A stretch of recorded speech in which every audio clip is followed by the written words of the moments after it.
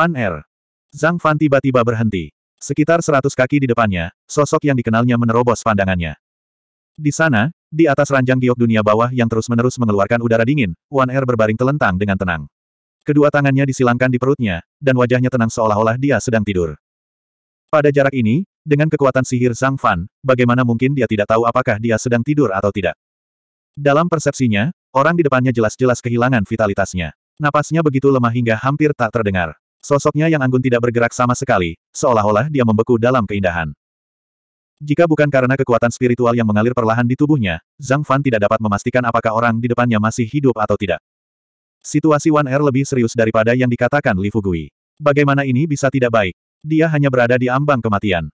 Di kulitnya yang seputih es, aura hijau samar muncul. Setiap kali aura hijau mengalir, aura itu tampak semakin dalam. Aura itu melayang keluar dari bawah kulitnya, seolah-olah terus-menerus melahap kekuatan hidup One Air, perlahan-lahan menguat. Dengan sekali pandang, Zhang Fan langsung melihat keadaan One Air saat ini.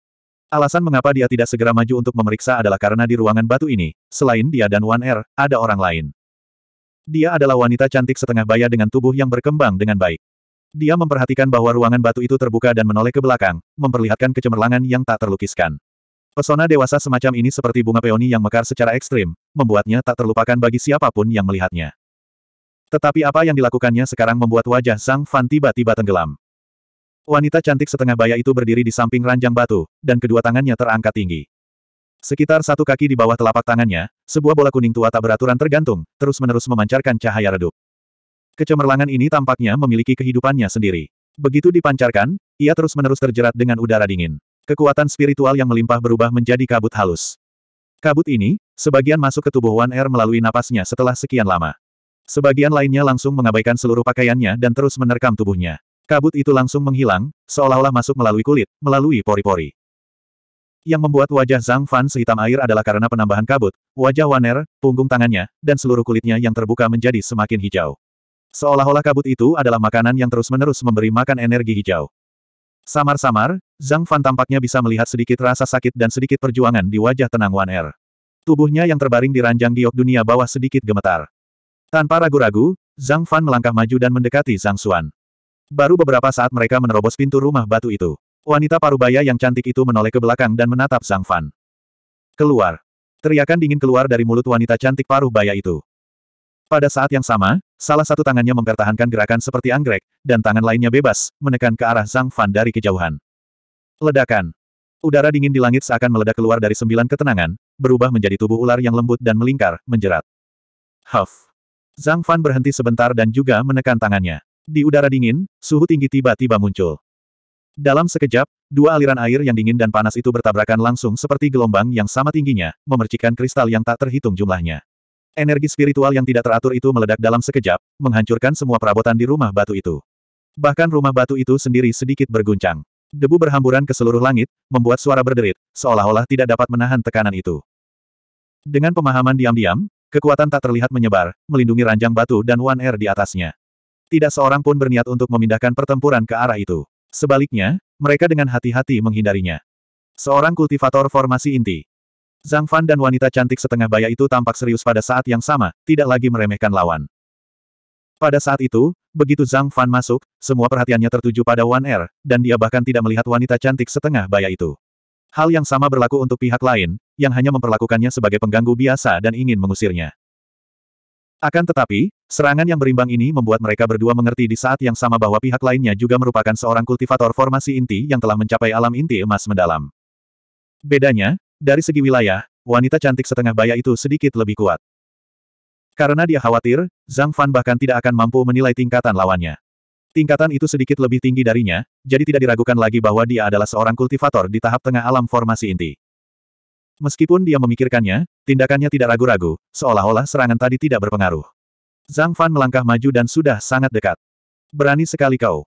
Wanita cantik setengah baya itu juga telah memastikan perbedaan alam mereka. Meskipun salah satu tangannya dan sebagian pikirannya masih berada di bola tak beraturan di atas ranjang batu, hal itu tidak menghalanginya untuk menggunakan kekuatannya.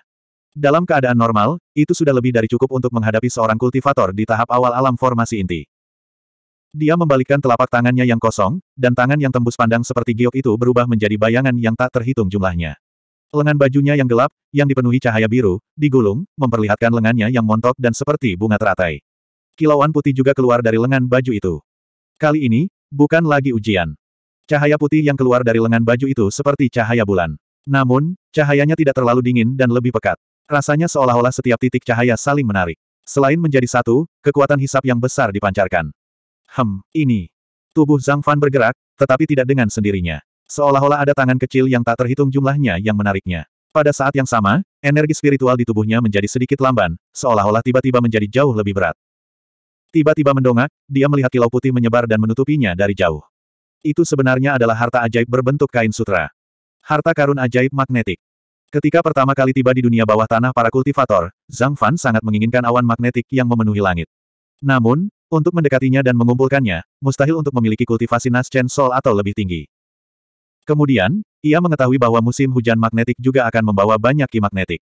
Jika ia dengan sabar mengumpulkannya selama beberapa dekade, tidak akan sulit untuk mengumpulkan cukup banyak untuk memurnikan harta karun sihir magnetik. Wanita cantik setengah baya di depannya pasti telah melakukan ini. Ki magnetik dapat mengikat harta karun ajaib, dapat membatasi ki spiritual, dan dapat memenjarakan jiwa. Meskipun saat ini, tampaknya metode pihak lain dalam menggunakan kain sutra ini lebih untuk memenjarakan Zhang Fan sementara, dan bukan untuk membunuhnya, tetapi bagaimana mungkin Zhang Fan menyerahkan hidupnya kepada orang lain. Selain itu, cahaya melintas di mata Zhang Fan. Dia menyapukan pandangannya ke tubuh Waner, lalu tiba-tiba menjadi tenang, seperti minuman terakhir sebelum badai. Bangkit. Dengan teriakan lembut yang hampir tak terdengar, titik merah menyala perlahan muncul di antara alisnya. Api yang menyilaukan, berkilauan, dan berkobar liar, seperti jantung kristal yang terus berdetak, muncul di udara di antara kain sutra magnetik dan Sang Fan. Hati naga berapi. Setelah memperoleh harta karun ini, selain mengembangkannya dalam bola abadi, dia tidak pernah menggunakannya lagi. Bukan karena alasan lain, tetapi karena tidak ada lawan yang cocok. Wanita cantik setengah baya di depannya adalah lawan seperti itu. Mengandalkan kekuatan sihir dari harta karun sihir magnetik, ditambah dengan tingkat kultivasinya sendiri di tahap tengah formasi inti, jika mereka benar-benar bertarung, dia lebih baik daripada Toothless Freyak, dan layak bagi Zhang Fan yang menggunakan hati naga berapi. Raungan naga, bagaikan badai, meletus di ruang batu terjadi. Bayangan besar, berkelok-kelok dan berputar-putar, langsung menutupi seluruh ruang batu. Naga. Ekspresi wanita cantik setengah baya itu akhirnya berubah. Yang mengejutkannya tentu saja bukan bentuk naga yang memenuhi seluruh ruangan batu itu. Ada banyak kekuatan magis dan mantra dharma di dunia yang dapat menunjukkan wujud naga suci, dan bahkan dia sendiri telah menguasai beberapa, jadi itu tidak aneh. Apa yang benar-benar membuatnya hampir tidak dapat mengendalikan diri adalah aura, pesona, dan fluktuasi kekuatan spiritual yang unik. Pada levelnya, dia secara alami dapat membedakan perbedaan di antara mereka. Manifestasi murni dari energi spiritual hanyalah penampakan yang dangkal, tetapi yang muncul di depannya hampir tidak berbeda dari naga langit primordial yang sebenarnya. Pada saat itu, wanita cantik setengah baya itu memang merasakan sensasi berdebar-debar, seolah-olah naga langit primordial yang asli telah bangkit dan menjulurkan cakarnya dari awan untuk menyerang. Mengikat. Tak berani menahan diri, dia menarik tangannya yang lain dari atas bola tak beraturan itu, melipat kedua telapak tangannya membentuk anggrek, dan menembak dari jauh. Dalam sekejap, seolah-olah sedang menarik napas dalam-dalam, kain sutra magnetik itu tiba-tiba berkontraksi, dan ki magnetik yang memenuhi langit menembus, seperti jaring besar yang menutupi langit, dan mengikat tubuh naga langit primordial. Tepat saat dia menunggunya melanjutkan, sebuah suara tiba-tiba terdengar dari kehampaan. Suara itu dipenuhi dengan rasa jarak yang tak terlukiskan. Rawa naga besar yang mengaum. Semua cahaya dan pikiran dikejutkan oleh kekuatan mengerikan dari naga langit primordial, dan segala sesuatu yang lain tampaknya telah menghilang. Pada saat yang sama ketika suara itu keluar, wanita cantik setengah baya itu hampir tidak dapat membedakan posisi Sang Fan. Dia tidak punya waktu untuk membedakannya. Naga besar mengaum di rawa, harimau mengaum di dalam pegunungan, kekuatan macam apa itu? Raungan naga tiba-tiba bergema. Gelombang udara yang mengerikan bergulung-gulung, seolah-olah mengangkat seluruh rawa. Riak-riak tak berujung menyebar, dan semua hal di dunia terdiam, hanya kekuatan tak berujung dari Celestial Dragon yang tiba-tiba meletus. Ledakan, dentuman, dentuman. Suara gemuruh yang tak henti-hentinya, bagaikan guntur yang telah lama ditunggu-tunggu, meledak secara serentak, satu demi satu, masing-masing lebih keras daripada sebelumnya, memenuhi segala sesuatu dan melesat langsung ke langit. Dalam sekejap, Atap ruangan batu itu terbuka, dan kerikil yang tak terhitung jumlahnya beterbangan keluar, hancur di udara, seperti hujan deras. Di bawah kendali khusus Zhang Fan, tubuh naga langit primordial menggeliat, terbungkus dalam semua kekuatan, dan menembus atap, tidak terluka sedikit pun di dalam ruangan. Hanya sapu tangan magnetik milik wanita paruh baya itu yang tampaknya terluka. Sapu tangan itu mengeluarkan suara ratapan sedih dan terlempar ke belakang. Hah! Dia mengendalikan tubuh naga langit agar tidak bubar, tetapi serangan berikutnya tiba-tiba terhenti. Secerca keterkejutan terpancar di sorot mata Zhang Fan, dia menatap Waner yang sedang berbaring di ranjang giok Netherworld dengan serius, dan tiba-tiba wajahnya memerah. Siapa kamu? Tiba-tiba dia menoleh, menatap wanita cantik parubaya yang menangkap harta ajaibnya dengan ekspresi ngeri. 392. Siapa kamu? Sama seperti Zhang Fan yang menggunakan jantung naga api untuk menjatuhkan senjata ajaib wanita parubaya itu dan memperoleh keuntungan mutlak, dia tidak melanjutkan dengan serangan lain. Sebaliknya, dia berhenti sejenak, menghentikan apa yang sedang dilakukannya, dan tiba-tiba membuka mulutnya untuk bertanya. Melihat ini, wanita parubaya itu menghela napas panjang. Dia tidak langsung menjawab. Sebaliknya, matanya memancarkan ekspresi minta maaf. Dia menganggukkan kepala dan segera memfokuskan perhatiannya. Telapak tangannya membentuk segel tangan yang tak terhitung jumlahnya, dan kekuatan spiritualnya sekali lagi menyatu ke dalam bola tak beraturan yang masih mengambang di udara. Zhang Fan melihat semua ini dan tampaknya mengerti sesuatu. Dia tidak mengatakan apa-apa lagi. Dia hanya melambaikan tangannya dan angin kencang bertiup keluar. Dengan suara, Hong pintu ruang batu ditutup. Kebisingan di luar terisolasi, dan ruang batu tiba-tiba menjadi sunyi. Dia duduk bersila dan diam memperhatikan tindakan wanita paruh baya itu. Pada saat ini, dia telah menemukan ada sesuatu yang salah. Sebelumnya, dia tidak peduli dengan identitas pihak lain, tetapi sekarang berbeda. Dengan sekilas, dia melihat masalahnya. Pada saat itu, wajah Waner memerah. Namun, kemerahan ini adalah merah yang menawan. Itu disebabkan oleh aliran darah yang terbalik. Saat semua ini terjadi, tepat saat wanita parubaya yang cantik itu melancarkan serangan baliknya. Kalau dia masih tidak mengerti setelah melihat ini, maka dia akan menyia-nyiakan kehidupan keduanya dan bertahun-tahun berkultivasi. Di ruang batu, tidak ada suara. Satu-satunya suara adalah bola kuning tanah di udara. Bola itu berputar cepat. Setiap kali berputar, sedikit cahaya kuning tanah akan dipancarkan. Bola itu akan terbenam ke dalam tubuh Waner. Warna merah yang memikat memudar dan muncul warna biru kehijauan. Semuanya sama seperti saat Zhang Fan datang. Namun, setelah beberapa saat, bola tak beraturan di udara itu menyusut beberapa kali. Saat ini, bola itu tampak hanya seukuran kacang hijau. Apa? Sambil menghela napas panjang, tangan wanita setengah baya yang cantik itu berputar-putar sambil menarikinya. Pada saat yang sama, dia dengan hati-hati menyingkirkan bola seukuran kacang coklat itu. Melihat gerakannya, seolah-olah benda kecil ini, yang bisa diabaikan jika seseorang ceroboh, adalah semacam harta karun tertinggi. Dia menatap Waner dengan penuh kasih sayang, yang sudah tenang. Dia kemudian berbalik dan menatap Zhang Fan. Matanya yang indah tampak dipenuhi dengan warna-warna aneh. Dia menatapnya dari atas ke bawah dan bertanya, Rekan kultivator, apakah kamu saudara yang disebutkan oleh murid kecilku Waner? Benar sekali, namaku Zhang Fan. Salam, rekan kultivator Hanyu. Zhang Fan berdiri perlahan dan membungkuk sedikit. Sekarang, dia secara alami mengerti bahwa wanita setengah baya yang cantik ini adalah guru Waner yang disebutkan oleh Li Fugui, Grandmaster Formasi Inti Han Yue. Tadi aku lengah. Rekan Cold Moon, tolong jangan tersinggung. Tidak, jelas Han Yue yang memulai langkah pertama. Bagaimana aku bisa menyalahkanmu? Keduanya bertukar beberapa kata sopan. Zhang Fan tidak lagi berminat untuk berbasa-basi. Dia melangkah maju dua langkah dan tiba di depan ranjang giok Netherworld. Mengabaikan tatapan Han Yue yang tajam, dia mengerutkan kening dan menatap Waner, yang terbaring tak bergerak, seolah-olah dia sedang tidur. Di bawah tatapannya, dia bisa melihat wajah Waner yang tampak tenang berkedut dari waktu ke waktu. Alisnya yang halus sedikit berkerut, seolah-olah dia sedang memegang hatinya. Seolah-olah ada rasa sakit dan penderitaan yang masih jelas bahkan dalam mimpinya. Sambil memegang tangan Waner dengan penuh kasih sayang, Zhang Fan merasakan dinginnya tangan itu. Dia mendesah dan sedikit menguatkan tangannya. Sentuhan kehangatan menyebar, langsung menyelimuti seluruh tubuh Waner. Warna merah muda yang hangat ini tidak memiliki sedikit pun kesan garang dan mendominasi. Warna ini seperti cahaya senja dari matahari terbenam, yang hanya membuat orang merasakan sedikit kehangatan. Di bawah kontras warna hangat ini, kulit Waner tampak jauh lebih baik. Seolah-olah di saat berikutnya, dia akan tersenyum manis dan menegakkan tubuhnya. Namun, wajah Zhang Fan tiba-tiba berubah pucat. Segalanya lebih serius dari apa yang dibayangkannya. Kekuatan spiritual memasuki tubuhnya, dan indera ketuhanannya menyebar. Tentu saja, tidak ada yang bisa disembunyikan dari persepsinya. Saat ini, situasi Waner jelas sangat buruk sehingga tidak bisa lebih buruk lagi. Bahkan sampai-sampai dia bisa mati kapan saja. Penyebab semua ini bukanlah masalah pada tubuhnya, juga bukan masalah pada kekuatan spiritualnya. Itu berasal dari jiwanya. Jiwa Waner dipenuhi dengan keheningan yang pekat dan mematikan. Keheningan yang mematikan ini terjerat erat, seolah-olah ingin menyeret seluruh jiwanya ke dalam lubang tak berujung di bawahnya hingga dingin selamanya. Keheningan yang mematikan ini terjerat erat dalam jiwanya. Metode apa pun untuk memisahkannya akan terlebih dahulu melukai jiwa Waner.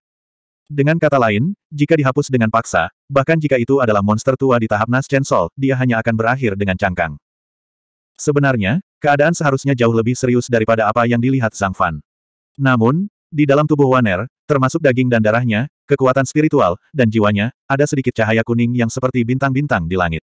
Mereka tampaknya menjadi musuh keheningan yang mematikan ini. Mereka dengan samar-samar menolaknya, terus-menerus memperlambat kecepatan keheningan yang mematikan itu.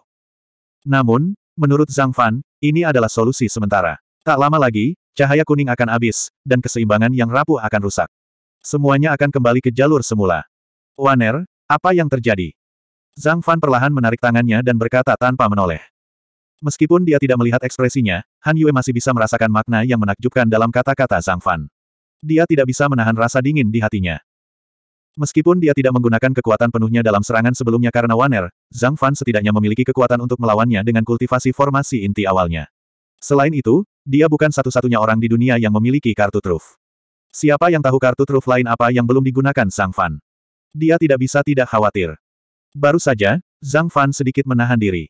Jika dia menggunakan alam semesta di lengan bajunya dan hati naga api pada saat yang sama dan memanggil klon formasi inti miliknya, bukan tidak mungkin baginya untuk membunuh Han Yue di tempat. Waner sudah mengamuk. Tanpa ragu sedikit pun, Han Yue menjawab tanpa berpikir. Ini adalah perbedaan status dan kekuatan. Jika Li Fugui menanyakan pertanyaan itu sekarang, tidak akan ada jawaban sama sekali. Bahkan, begitu dia memasuki pintu, dia mungkin akan terbunuh oleh bulan yang dingin. Ketika Zhang Fan mendengar ini, dia tidak merasa lega. Sebaliknya, dia malah mengerutkan kening dan berkata dengan suara yang dalam, teknik kultivasi macam apa yang bisa menyebabkan seseorang menjadi gila seperti itu. Menjadi gila biasanya berarti kehilangan kendali atas kekuatan spiritual seseorang dan merusak fondasi dao seseorang. Apa pun yang terjadi, hal ini seharusnya tidak terjadi. Waner mengolah teknik jantung Gyokin yang mendalam. Han Yue ragu sejenak sebelum mengucapkan nama sebuah teknik. Teknik jantung Gyokin yang mendalam. Zhang Fan bergumam pada dirinya sendiri sejenak sebelum menggelengkan kepalanya. Dia belum pernah mendengar teknik ini sebelumnya. Tepat saat dia hendak bertanya, Taoisku, yang selama ini diam, tiba-tiba menyela. Nak, Waner tidak buruk. Jika dia beruntung, maka Anda juga beruntung. Hem. Perkataan Taoisku yang tidak masuk akal itu membuat Zhang Fan bingung. Tepat saat dia hendak bertanya lagi, Taoisku terkekeh dan menolak untuk mengatakan sepatah kata pun. Pada saat ini, Han Yue langsung berkata, prasyarat untuk mengolah teknik jantung Gyokin mendalam adalah bersikap sangat penyanyang dan tidak berperasaan. Lebih mudah diucapkan daripada dilakukan. Saat itu, saya berusaha membujuk Waner, tetapi dia tidak mau mendengarkan saya dan tetap bersikeras. Pada titik ini, penyesalan di wajah Han Yue tidak dapat disembunyikan. Dia menatap Zhang Fan dengan tatapan yang dalam. Alis Zhang Fan langsung berkerut. Bukan karena Han Yue tidak jelas dan tidak menyebutkan detail teknik ini. Bagaimanapun, itu adalah teknik rahasia Sekte Bulan Hitam. Wajar saja jika tekniknya tidak jelas. Yang ia pedulikan adalah kata-kata, sangat penuh kasih sayang dan tidak berperasaan. Berapa banyak orang yang dapat melakukan itu hanya dengan delapan kata sederhana. Tidak perlu dijelaskan lagi tentang apa artinya bersikap sangat penyanyang dan tidak berperasaan. Hanya ada satu situasi di mana seseorang bisa bersikap tidak berperasaan dan tidak berperasaan. Sama halnya dengan perasaan kita terhadap saudara-saudari kita. Tidak ada seorang pun yang bisa berkata bahwa mereka tidak peduli dengan tangan dan kaki mereka, bukan. Ini adalah semacam cinta bawaan. Namun, sebelum kehilangan mereka, siapa yang akan mengungkapkan perasaan lain untuk tangan dan kaki mereka? Mereka bahkan tidak akan memikirkannya. Ini sungguh tidak berperasaan dan tidak penuh kasih. Tangan dan kaki pada awalnya adalah satu, dan semua cinta bersifat naluriah. Tidak ada puisi, tidak ada obsesi, dan tidak ada rasa keberadaan.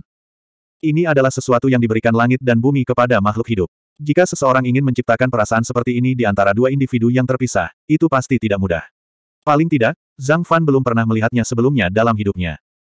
Oleh karena itu, tidak sulit untuk membayangkan betapa berbahayanya bagi Wan Er untuk mengolah teknik ini. Memikirkan keheningan yang merasuki jiwa Wan Er, Zhang Fan tampaknya telah memahami sesuatu. Dia merenung sejenak dan bertanya, rekan Taois Han Yue, apakah Anda punya solusi? Saat dia berbicara, tatapannya bergerak ke bawah dan melihat ke pinggang Han Yue. Di sanalah dia menyimpan bola kuning tanah yang tidak beraturan itu. Teknik jantung giok yin misterius, bagaimanapun juga, adalah teknik milik Sekte Yin misterius. Jika mereka mengatakan bahwa mereka tidak memiliki solusi, Zhang Fan akan menjadi orang pertama yang tidak mempercayainya. Jika memang demikian, maka orang-orang yang mengolah teknik ini pasti sudah lama meninggal. Itu murni teknik untuk menyakiti orang lain. Bagaimana mungkin teknik ini bisa diwariskan? Itu benar, ada caranya, tapi... Senyum masam muncul di wajah Han Yue, yang montok seperti bulan purnama. Dengan jentikan telapak tangannya, bola kuning tanah seukuran kacang muncul di telapak tangannya yang putih dan lembut. Ini adalah harta binatang yang terakhir. Harta karun binatang. Mata Zhang Fan menyipit saat dia langsung fokus pada apa yang disebut harta karun binatang. Sebuah kekuatan tak terlihat muncul dari udara tipis dan melilit harta karun binatang itu, menyebabkannya melayang dari telapak tangan Han Yue dan tiba di depan Zhang Fan. Han Yue tidak berniat menghentikannya. Selama jeda pemeriksaan Zhang Fan, dia mengangkat kepalanya dan melihat ke atap yang kosong. Cahaya yang jernih dan dingin bersinar ke dalam ruang batu, membuat semuanya tampak samar-samar. Atap rumah Neter Jade telah lama hancur oleh serangan Zhang Fan. Rumah giok Neter ini secara alami merupakan barang langka, dan telah dihancurkan olehnya begitu saja. Namun, mata Han Yue dipenuhi dengan kemarahan dan penyesalan. Sebaliknya, ada kilatan cahaya. Bukankah itu mungkin? Mata Han Yue menjadi semakin cerah. Dia mengangkat matanya untuk melihat Zhang Fan dan melihat bahwa dia mengerutkan kening. Dia mengalihkan pandangannya dari harta karun binatang buas dan membuka mulutnya untuk berbicara. 393. Mata Han Yue bersinar terang. Di ruangan batu yang agak gelap, itu sangat jelas, seolah-olah ada cahaya redup di matanya. Pada saat ini, Zhang Fan baru saja selesai melihat harta karun binatang buas itu. Dia mengangkat kepalanya untuk melihatnya dan membuka mulutnya untuk berbicara. Baik dia maupun Taoisku dalam tubuhnya, tak satu pun dari mereka tahu apa yang istimewa dari harta karun binatang buas ini.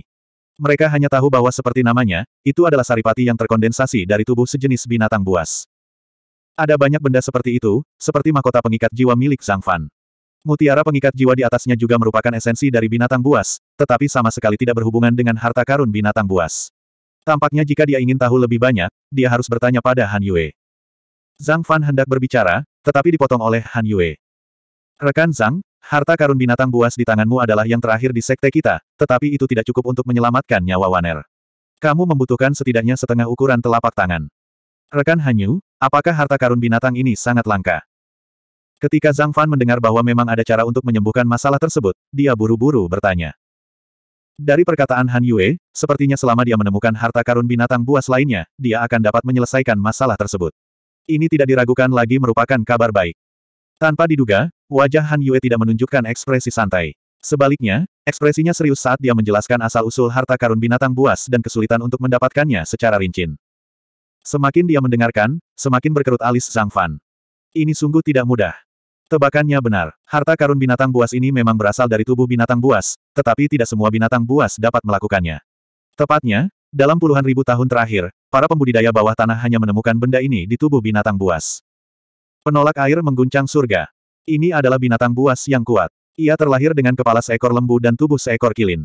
Seluruh tubuhnya ditutupi sisik besi, dan dengan raungannya yang panjang, ia dapat mengguncang surga.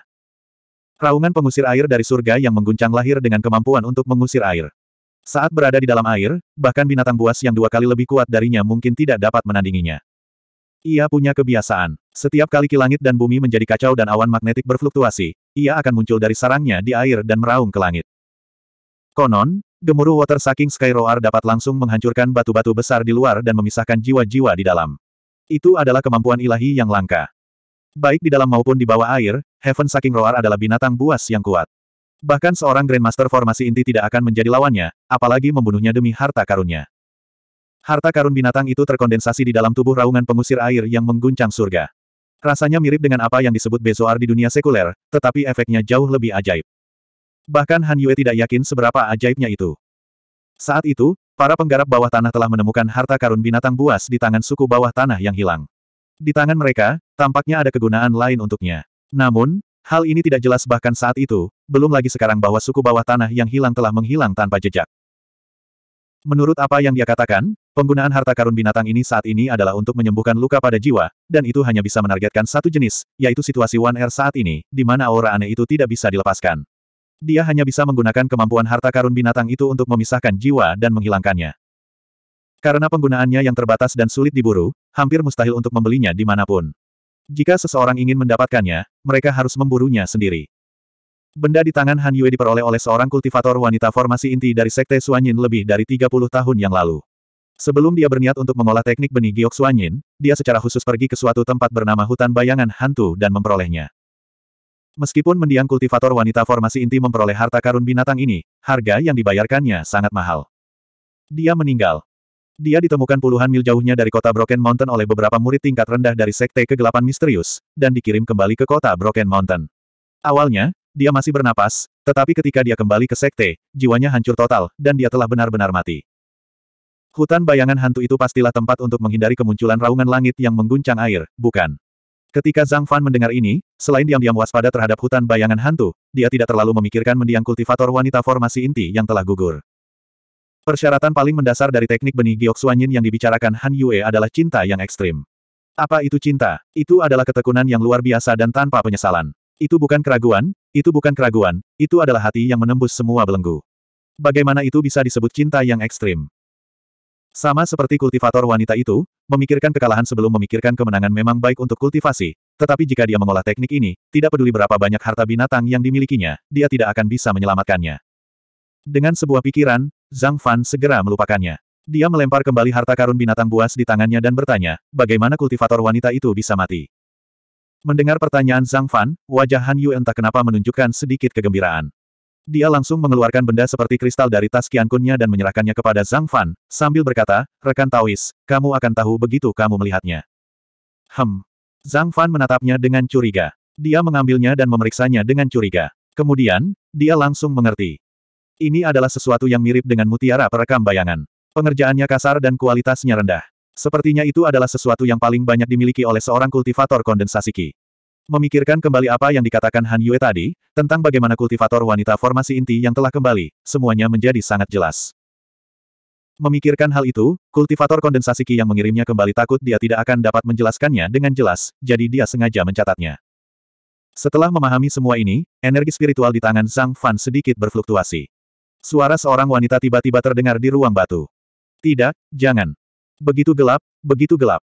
Ah! Jeritan mengerikan itu berakhir dan tiba-tiba berakhir. Suara ini sama sekali tidak terdengar seperti suara seorang kultivator core formation yang kuat. Suaranya benar-benar seperti manusia biasa yang ketakutan setengah mati. Kata-katanya penuh dengan rasa kantuk, sehingga mustahil bagi orang untuk memperoleh banyak informasi berguna darinya. Ketika kakak senior ini nyaris berhasil membunuh jalan kembali, jiwanya sudah diambang kehancuran. Itulah sebabnya dia tidak bisa bertahan dalam sekte.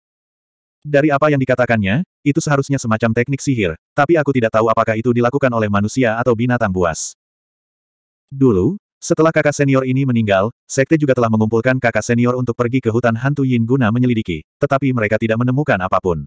Kemudian, beberapa hal terjadi, dan kami tidak dapat membuang-buang tenaga lagi untuk ini, jadi kami tinggalkan saja. Mendengar ini, Zhang Fan merenung sejenak dan bertanya, bolehkah saya bertanya kepada rekan Taois Han Yue, apakah Sekte Suanyin Anda telah mengirim seseorang ke hutan Gosyin? Melihat situasi Waner tidak akan bertahan lama, suasana di Sekte Suanyin agak aneh. Dia tidak punya pilihan selain bertanya dengan jelas. Han Yue menggelengkan kepalanya dengan canggung dan berkata, tidak. Sedikit amarah melintas di wajah Zhang Fan. Tepat saat dia hendak berbicara, dia mendengar Han Yue melanjutkan, bukan hanya Sekte Suanyin kita. Sebagian besar ahli sekte di kota Broken Mountain telah dipindahkan. Hem. Zhang Fan tidak tahu tentang ini. Tanpa menunggu dia bertanya, Han Yue menjelaskan semua yang terjadi. Masalahnya sebenarnya sangat sederhana. Itu hanya sebuah pertemuan di kota perbatasan seperti kota Tateret Mountain. Sepertinya para binatang buas itu bertingkah aneh lagi. Mereka mengumpulkan kekuatan dan bersiap untuk menghentikannya sejak awal, untuk mencegah situasi mengerikan seperti gerombolan binatang buas itu terjadi lagi. Saat ini, satu-satunya kultivator yang benar-benar kuat di kota Broken Mountain adalah kultivator tingkat pertama yang mengendalikan pilar api ilahi. Dia juga merupakan penjaga terakhir dari seluruh kota Broken Mountain. Tentu saja, jika tidak ada kekuatan lain yang setingkat datang, dia sendiri akan cukup untuk melindungi kota Broken Mountain. Mendengar ini, Zhang Fan secara garis besar mengerti mengapa ada kekosongan di Sekte Suanyin dan mengapa ada situasi di mana para pengikutnya seperti burung yang lepas dari sangkarnya. Pada saat yang sama, ketika mereka pertama kali memasuki Sekte Suanyin, mengapa kultivator wanita menolak mereka sepenuhnya? Tidak banyak kultivator tingkat akhir yang tersisa di Sekte Suanyin. Mengapa mereka mengambil risiko pergi ke hutan Gosyin untuk membunuh Water Saking Roar? Bagi mereka, keselamatan basis sekte tersebut adalah yang paling penting. Terlebih lagi, tempat itu adalah tempat yang berbahaya di mana bahkan para kultivator tingkat lanjut yang telah mencapai level penyelesaian akan mati. Tanpa tekanan tinggi dari atas, mereka tentu tidak akan mengambil risiko. Han Yue harus tetap di sini untuk berjaga-jaga, untuk mencegah luka Wan Er semakin parah. Karena itu, aku hanya bisa. Han Yue tidak bisa berkata apa-apa. Sebagai seorang kultivator tingkat akhir dari sebuah sekte besar, dia harus meminta bantuan dari orang luar untuk menyelamatkan nyawa muridnya. Ini adalah penghinaan. Jika Zhang Fan tidak datang hari ini, atau jika dia tidak menunjukkan kekuatannya yang luar biasa, dia sendiri yang harus mengambil risiko. Sekarang, dia akhirnya bertemu bantal. Zhang Fan mengangkat alisnya dan mengerti apa yang dimaksudnya. Dia tidak menolak dan berkata terus terang, serahkan saja padaku. Tolong ceritakan padaku tentang situasi di hutan hantu Yin secara terperinci sehingga aku bisa bersiap. Karena ini terkait dengan kehidupan One Air, Zhang Fan tentu saja tidak bisa menolak. Yang harus dia lakukan sekarang adalah bersiap. Bagaimanapun, tempat itu adalah tempat yang berbahaya. Pasti ada misteri di dalamnya. Kalau tidak, meskipun raungan air mengguncang itu kuat, itu tidak akan cukup untuk membunuh seorang kultivator tingkat akhir. Rahasia di dalamnya mungkin tersembunyi sangat dalam. Baiklah kalau begitu, aku akan merepotkanmu. Han Yue melihat bahwa dia telah setuju dan segera menunjukkan ekspresi terkejut yang menyenangkan. Dia membungkuk dalam-dalam dan berkata, Han Yue, kamu tidak perlu melakukan ini. Bagaimanapun juga, Wan Er adalah adik perempuanku. Aku tentu akan melakukan yang terbaik. Begitu suara Zhang Fan berakhir, Han Yue tidak sempat memberitahunya detail tentang hutan Ghost Yin ketika suara dingin tiba-tiba datang dari luar rumah batu. Adik Han Yue, kamu baik-baik saja. Tepat saat suara itu terdengar, terdengar suara dentuman keras. Pintu rumah batu itu tiba-tiba hancur. Potongan-potongan puing yang tak terhitung jumlahnya seperti bilah tajam saat mereka menyapu masuk, langsung menutupi seluruh ruangan batu. Bahkan Wan Er, yang sedang berbaring di tempat tidur Giok Netherworld, berada dalam jangkauan puing-puing itu. Hem. Sambil mendengus dingin, wajah Zhang Fan tiba-tiba menjadi gelap. Dengan lambaian lengan bajunya, sebuah kekuatan tak terlihat menghalangi bagian depan tempat tidur Giok Netherworld seperti penghalang. Kekuatan itu menangkap puing-puing yang runtuh dan segera berguncang hebat. Semua puing berhamburan keluar dan menyerang sosok yang muncul di pintu. Berani sekali kau. Dia jelas seorang wanita, tetapi ada nada dingin alami dalam suaranya, seperti batu yang keras kepala. Belum lagi kelembutan seorang wanita, dia bahkan tidak memiliki sedikit pun emosi manusia. Kakak senior Annihilation, kamu. Han Yue berteriak kaget, tetapi dia menunjukkan identitas orang yang datang. 394. Kakak senior Mie Jue, kamu. Han Yue berseru, tetapi tidak ada banyak ekspresi terkejut atau marah di wajahnya, seolah-olah dia sangat mengenal temperamen orang ini. Adik Hanyu, jangan khawatir tentang ini. Suara Miejue terdengar, dan pada saat yang sama, angin meniup semua asap dan debu, memperlihatkan sosok yang sombong dan menyendiri. Dia adalah seorang kultivator wanita setengah baya, tetapi dari segi penampilan, dia tampak lebih muda dari Han Yue. Wajahnya bisa dibilang halus dan cantik, tetapi sayang sekali sepasang alis yang terangkat merusak semua kecantikannya. Rasanya seolah-olah dia selalu memandang rendah orang lain, dan memberi mereka sedikit dari sudut matanya seperti memberi sedekah. Dia bukan satu-satunya yang muncul. Di belakangnya, ada lebih dari sepuluh murid Foundation Establishment. Di antara mereka, Zhang Fan merasa beberapa dari mereka tampak familiar. Ini adalah pertama kalinya dia datang ke pusat kota Broken Mountain City, dan dia hanya memiliki sedikit kontak dengan para pengikut Sekte Suanyin. Alasan dia merasa mereka familiar adalah karena dia pernah melihat mereka ketika dia bergegas masuk sebelumnya. Bagaimana para petani yang telah diterangi olehnya bisa menjadi lebih baik? Hal itu terlihat dari sedikitnya orang yang muncul di hadapannya. Masing-masing dari mereka memiliki anggota tubuh yang lemah, dan langkah kaki mereka juga lemah. Banyak dari mereka yang harus bergantung satu sama lain agar tidak terjatuh ke tanah. Ini bukan karena mereka terluka. Dari awal hingga akhir, Zhang Fan tidak menggunakan kekuatan sihir lain kecuali belenggu ki spiritual. Kekuatan spiritual mereka baru saja di penjara. Ketergantungan terbesar para kultivator bukanlah tubuh fisik mereka, tetapi kekuatan spiritual mereka. Tanpa dukungan kekuatan spiritual, mereka tampaknya tidak dapat mengendalikan tubuh mereka. Meskipun tubuh mereka jauh lebih kuat daripada banyak seniman bela diri di dunia fana, tanpa dukungan kekuatan spiritual, mereka tidak merasa menjadi diri mereka sendiri. Apakah kamu penyusup itu? Melihat tatapan Zhang Fan yang menyapu tubuhnya, dia hanya melihat ke arah para kultivator Foundation Establishment, seolah-olah dia tidak menganggapnya serius, wajah Miejue tiba-tiba menunjukkan sedikit amarah. Tangannya gemetar seolah-olah dia akan menyerang, tetapi dia memaksa dirinya untuk menahannya dan bertanya dengan dingin. Itu benar. Zhang Fan menjawab dengan santai, dan pada saat yang sama, mengalihkan pandangannya dari para kultivator Foundation Establishment. Ngomong-ngomong, ini adalah pertama kalinya dia memperhatikan bahwa para kultivator yang telah kehilangan kekuatan spiritual mereka tampak begitu menyedihkan. Dia tidak bisa tidak merasa khawatir secara diam-diam. Anda. Seolah amarahnya sedang memuncak, wajah Miejue berubah menjadi hijau dan dia berteriak, tahukah kau bahwa mereka adalah murid-muridku? Sejak kapan orang luar punya hak untuk memberi pelajaran pada muridku? Berani sekali kau. Saat dia berbicara, aura ganas muncul dari tubuhnya. Tiba-tiba membumbung tinggi, seperti pedang yang sangat tajam, menembus awan. Hem. Ini adalah pertama kalinya ekspresi Zhang Fan berubah sejak Extinction muncul. Pedang Qi. Kultivator wanita setengah baya bernama Miejue ini jelas merupakan murid dari Sekte Yin misterius, tetapi dia tampaknya sedang mengolah teknik pedang. Zhang Fan telah mengalami sendiri seperti apa ki pedang yang sebenarnya. Dia sendiri memiliki pil pedang, dan dia bahkan telah menyempurnakannya secara pribadi menjadi lukisan pedang segudang, yang dia bawa bersamanya hingga hari ini.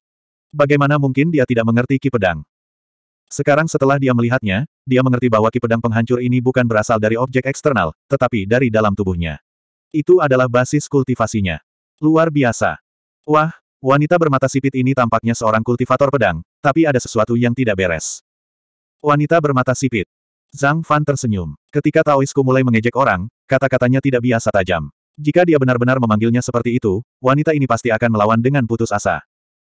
Zhang Fan juga menyadari bahwa tampaknya ada sesuatu yang salah dengan penggarap pedang yang disebutkannya. Apa yang ada di tubuh Miejue jelas merupakan ki pedang murni, tetapi kultivasinya mengikuti jalur dunia kultivasi saat ini. Pemurnian ki, pembentukan fondasi, pembentukan inti. Jika ini terus berlanjut, dia tidak akan seperti para kultivator pedang kuno yang hanya mengolah esensi pedang. Mungkin ada yang salah dengan kultivasinya dalam ilmu pedang, tetapi temperamen Miejue tampak sangat kasar.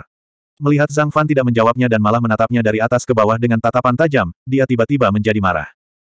Orang gila. Sambil mengaum, lidahnya seperti guntur musim semi. Ia mengangkat jarinya dan menunjuknya dari jauh. Robek. Suara yang memekakan telinga tiba-tiba terdengar di ruang batu, seolah-olah brokat tebal telah robek. Hem, betapa kejamnya tangan itu. Rambut di dahi Zhang Fan tiba-tiba tersapu ke belakang dan menempel erat di dahinya. Ada sedikit rasa sakit yang menusuk di antara kedua alisnya. Ki pedang. Itu juga disebut, ki pedang. Pedang ki yang sangat tajam mengembun menjadi pedang berharga. Pedang itu tiba-tiba terbang dan hampir mencapai ruang di antara kedua alisnya.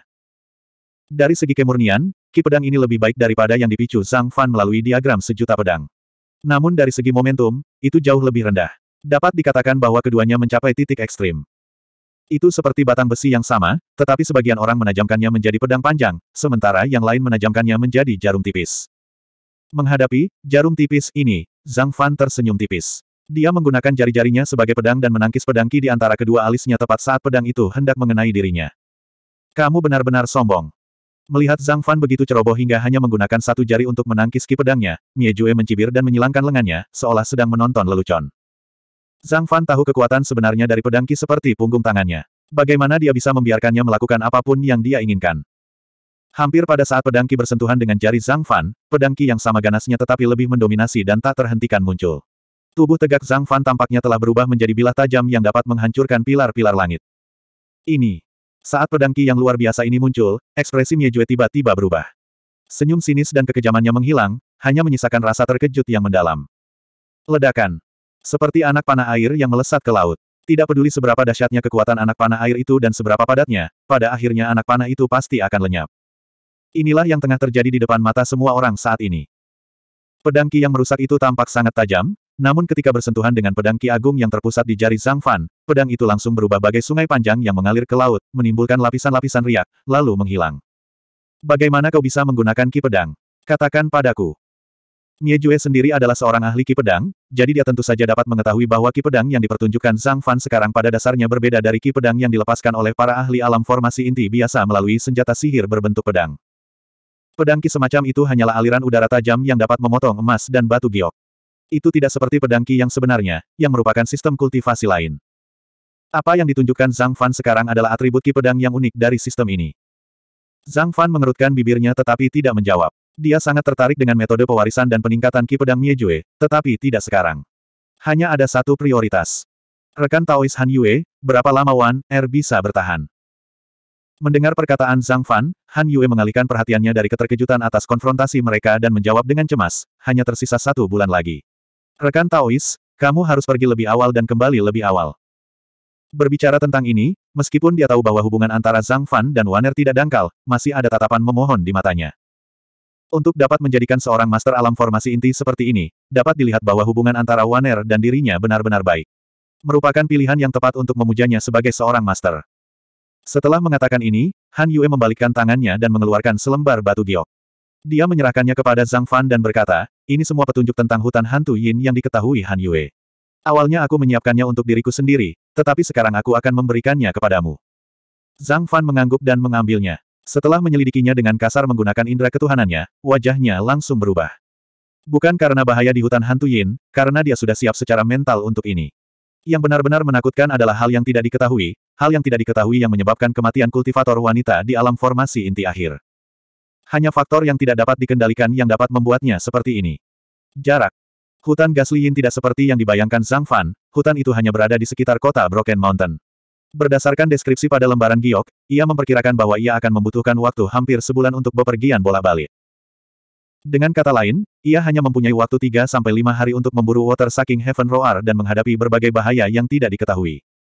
Setelah memahami hal ini, wajah Zhang Fan langsung tenggelam. Dia tidak lagi berminat untuk mempedulikan pedang Qi. Dia mengangguk sedikit dan melangkah keluar pintu. Tunggu. Zhang Fan baru saja melangkah dua langkah ketika sebuah lengan tiba-tiba menghalangi jalannya. Apa artinya ini? Mata Zhang Fan berkilat tajam saat dia berkata dengan dingin. Kau tidak bisa pergi. Lawan aku dulu. Mie Jue sepertinya teringat sesuatu. Tiba-tiba, dia tidak menyebutkan sepatah kata pun tentang alasan dia datang dengan marah. Sebaliknya, dia meminta untuk bertarung. Melihat ekspresinya yang serius, dia tidak terlihat seperti ingin membalas dendam pada muridnya. Sebaliknya, dia terlihat seperti seorang kultivator pedang kuno yang menghunus pedangnya dan mengundang seseorang untuk bertarung. Jika di lain waktu, Zhang Fan mungkin akan sedikit tertarik. Namun saat ini, hal itu tidak mungkin. Aku masih punya hal penting yang harus kulakukan. Jangan bahas pertengkaran itu lagi. Sambil berkata demikian, dia melambaikan lengan bajunya dan bersiap untuk pergi. Tidak. Gelombang ki pedang meledak dengan ganas, menutupi lengan Zhang Fan. Riak-riak samar muncul, seolah-olah setiap lipatan di lengan Zhang Fan adalah pedang tajam. Ketika Zhang Fan melambaikan lengan bajunya, terjadi ledakan keras, tetapi dia tidak bisa mendorongnya. Hem. Saat aku menyerang, aku tidak pernah menunjukkan belas kasihan. Mie Jue, apakah kamu yakin ingin bertarung denganku? Zhang Fan tidak lagi menyembunyikan kemarahan dan niat membunuh di wajahnya. Napas yang kuat menyembur keluar, dan pada saat yang sama, suara gagak bergema. Gagak emas berkaki tiga yang besar, seperti naga api primordial sebelumnya, bergegas keluar dari atap, kedua sayapnya membentang di langit, dan seluruh dunia tiba-tiba menjadi gelap. Mengaktifkan wujud Dharma, kalaupun dia menyerang, maka akan mengerahkan segenap kekuatannya. Pada saat ini, jika Mi Extermination masih menolak untuk bersikap bijaksana dan minggir, Zhang Fan pasti akan menyerang seperti sambaran petir. Tidak perlu mengatakan apa pun tentang ini. Setiap orang yang melihat pemandangan ini tahu apa yang akan terjadi. Melihat momentum Zhang Fan telah mencapai puncaknya, seperti bendungan yang telah terisi penuh dan dapat meletus kapan saja, Mie Jue tidak dapat menahan diri untuk tidak ragu. Setelah merenung sejenak, dia perlahan menurunkan lengannya dan benar-benar memberi jalan. Zhang Fan, orang asing, tidak merasakan apa pun tentang ini, tetapi hanya terkejut. Dia tahu betapa keras kepala kakak perempuannya. Bagaimana dia bisa menyerah begitu saja? Sebelum dia bisa menyadari apa yang sedang terjadi, sebuah suara terdengar. Rekan kultivator Hanyu, jagalah Waner dengan baik. Aku akan kembali dalam waktu satu bulan. 395.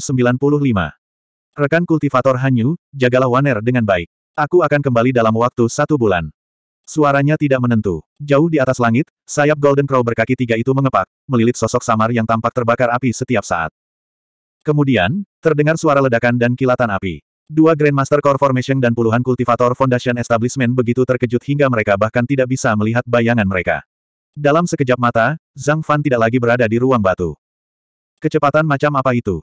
Sebagai Grandmaster formasi inti, visi dan pengetahuan Mie Jue dan Hanyu tidak sebanding dengan murid biasa. Mereka bahkan lebih terkejut karena mereka tidak dapat melihat jejak Mengki. Jika mereka benar-benar bertarung, Mengki dapat datang dan pergi sesuka hatinya.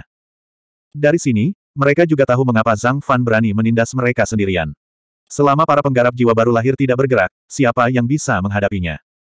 Saat mereka saling memandang, di langit yang jauh, sebuah titik merah menyala melayang.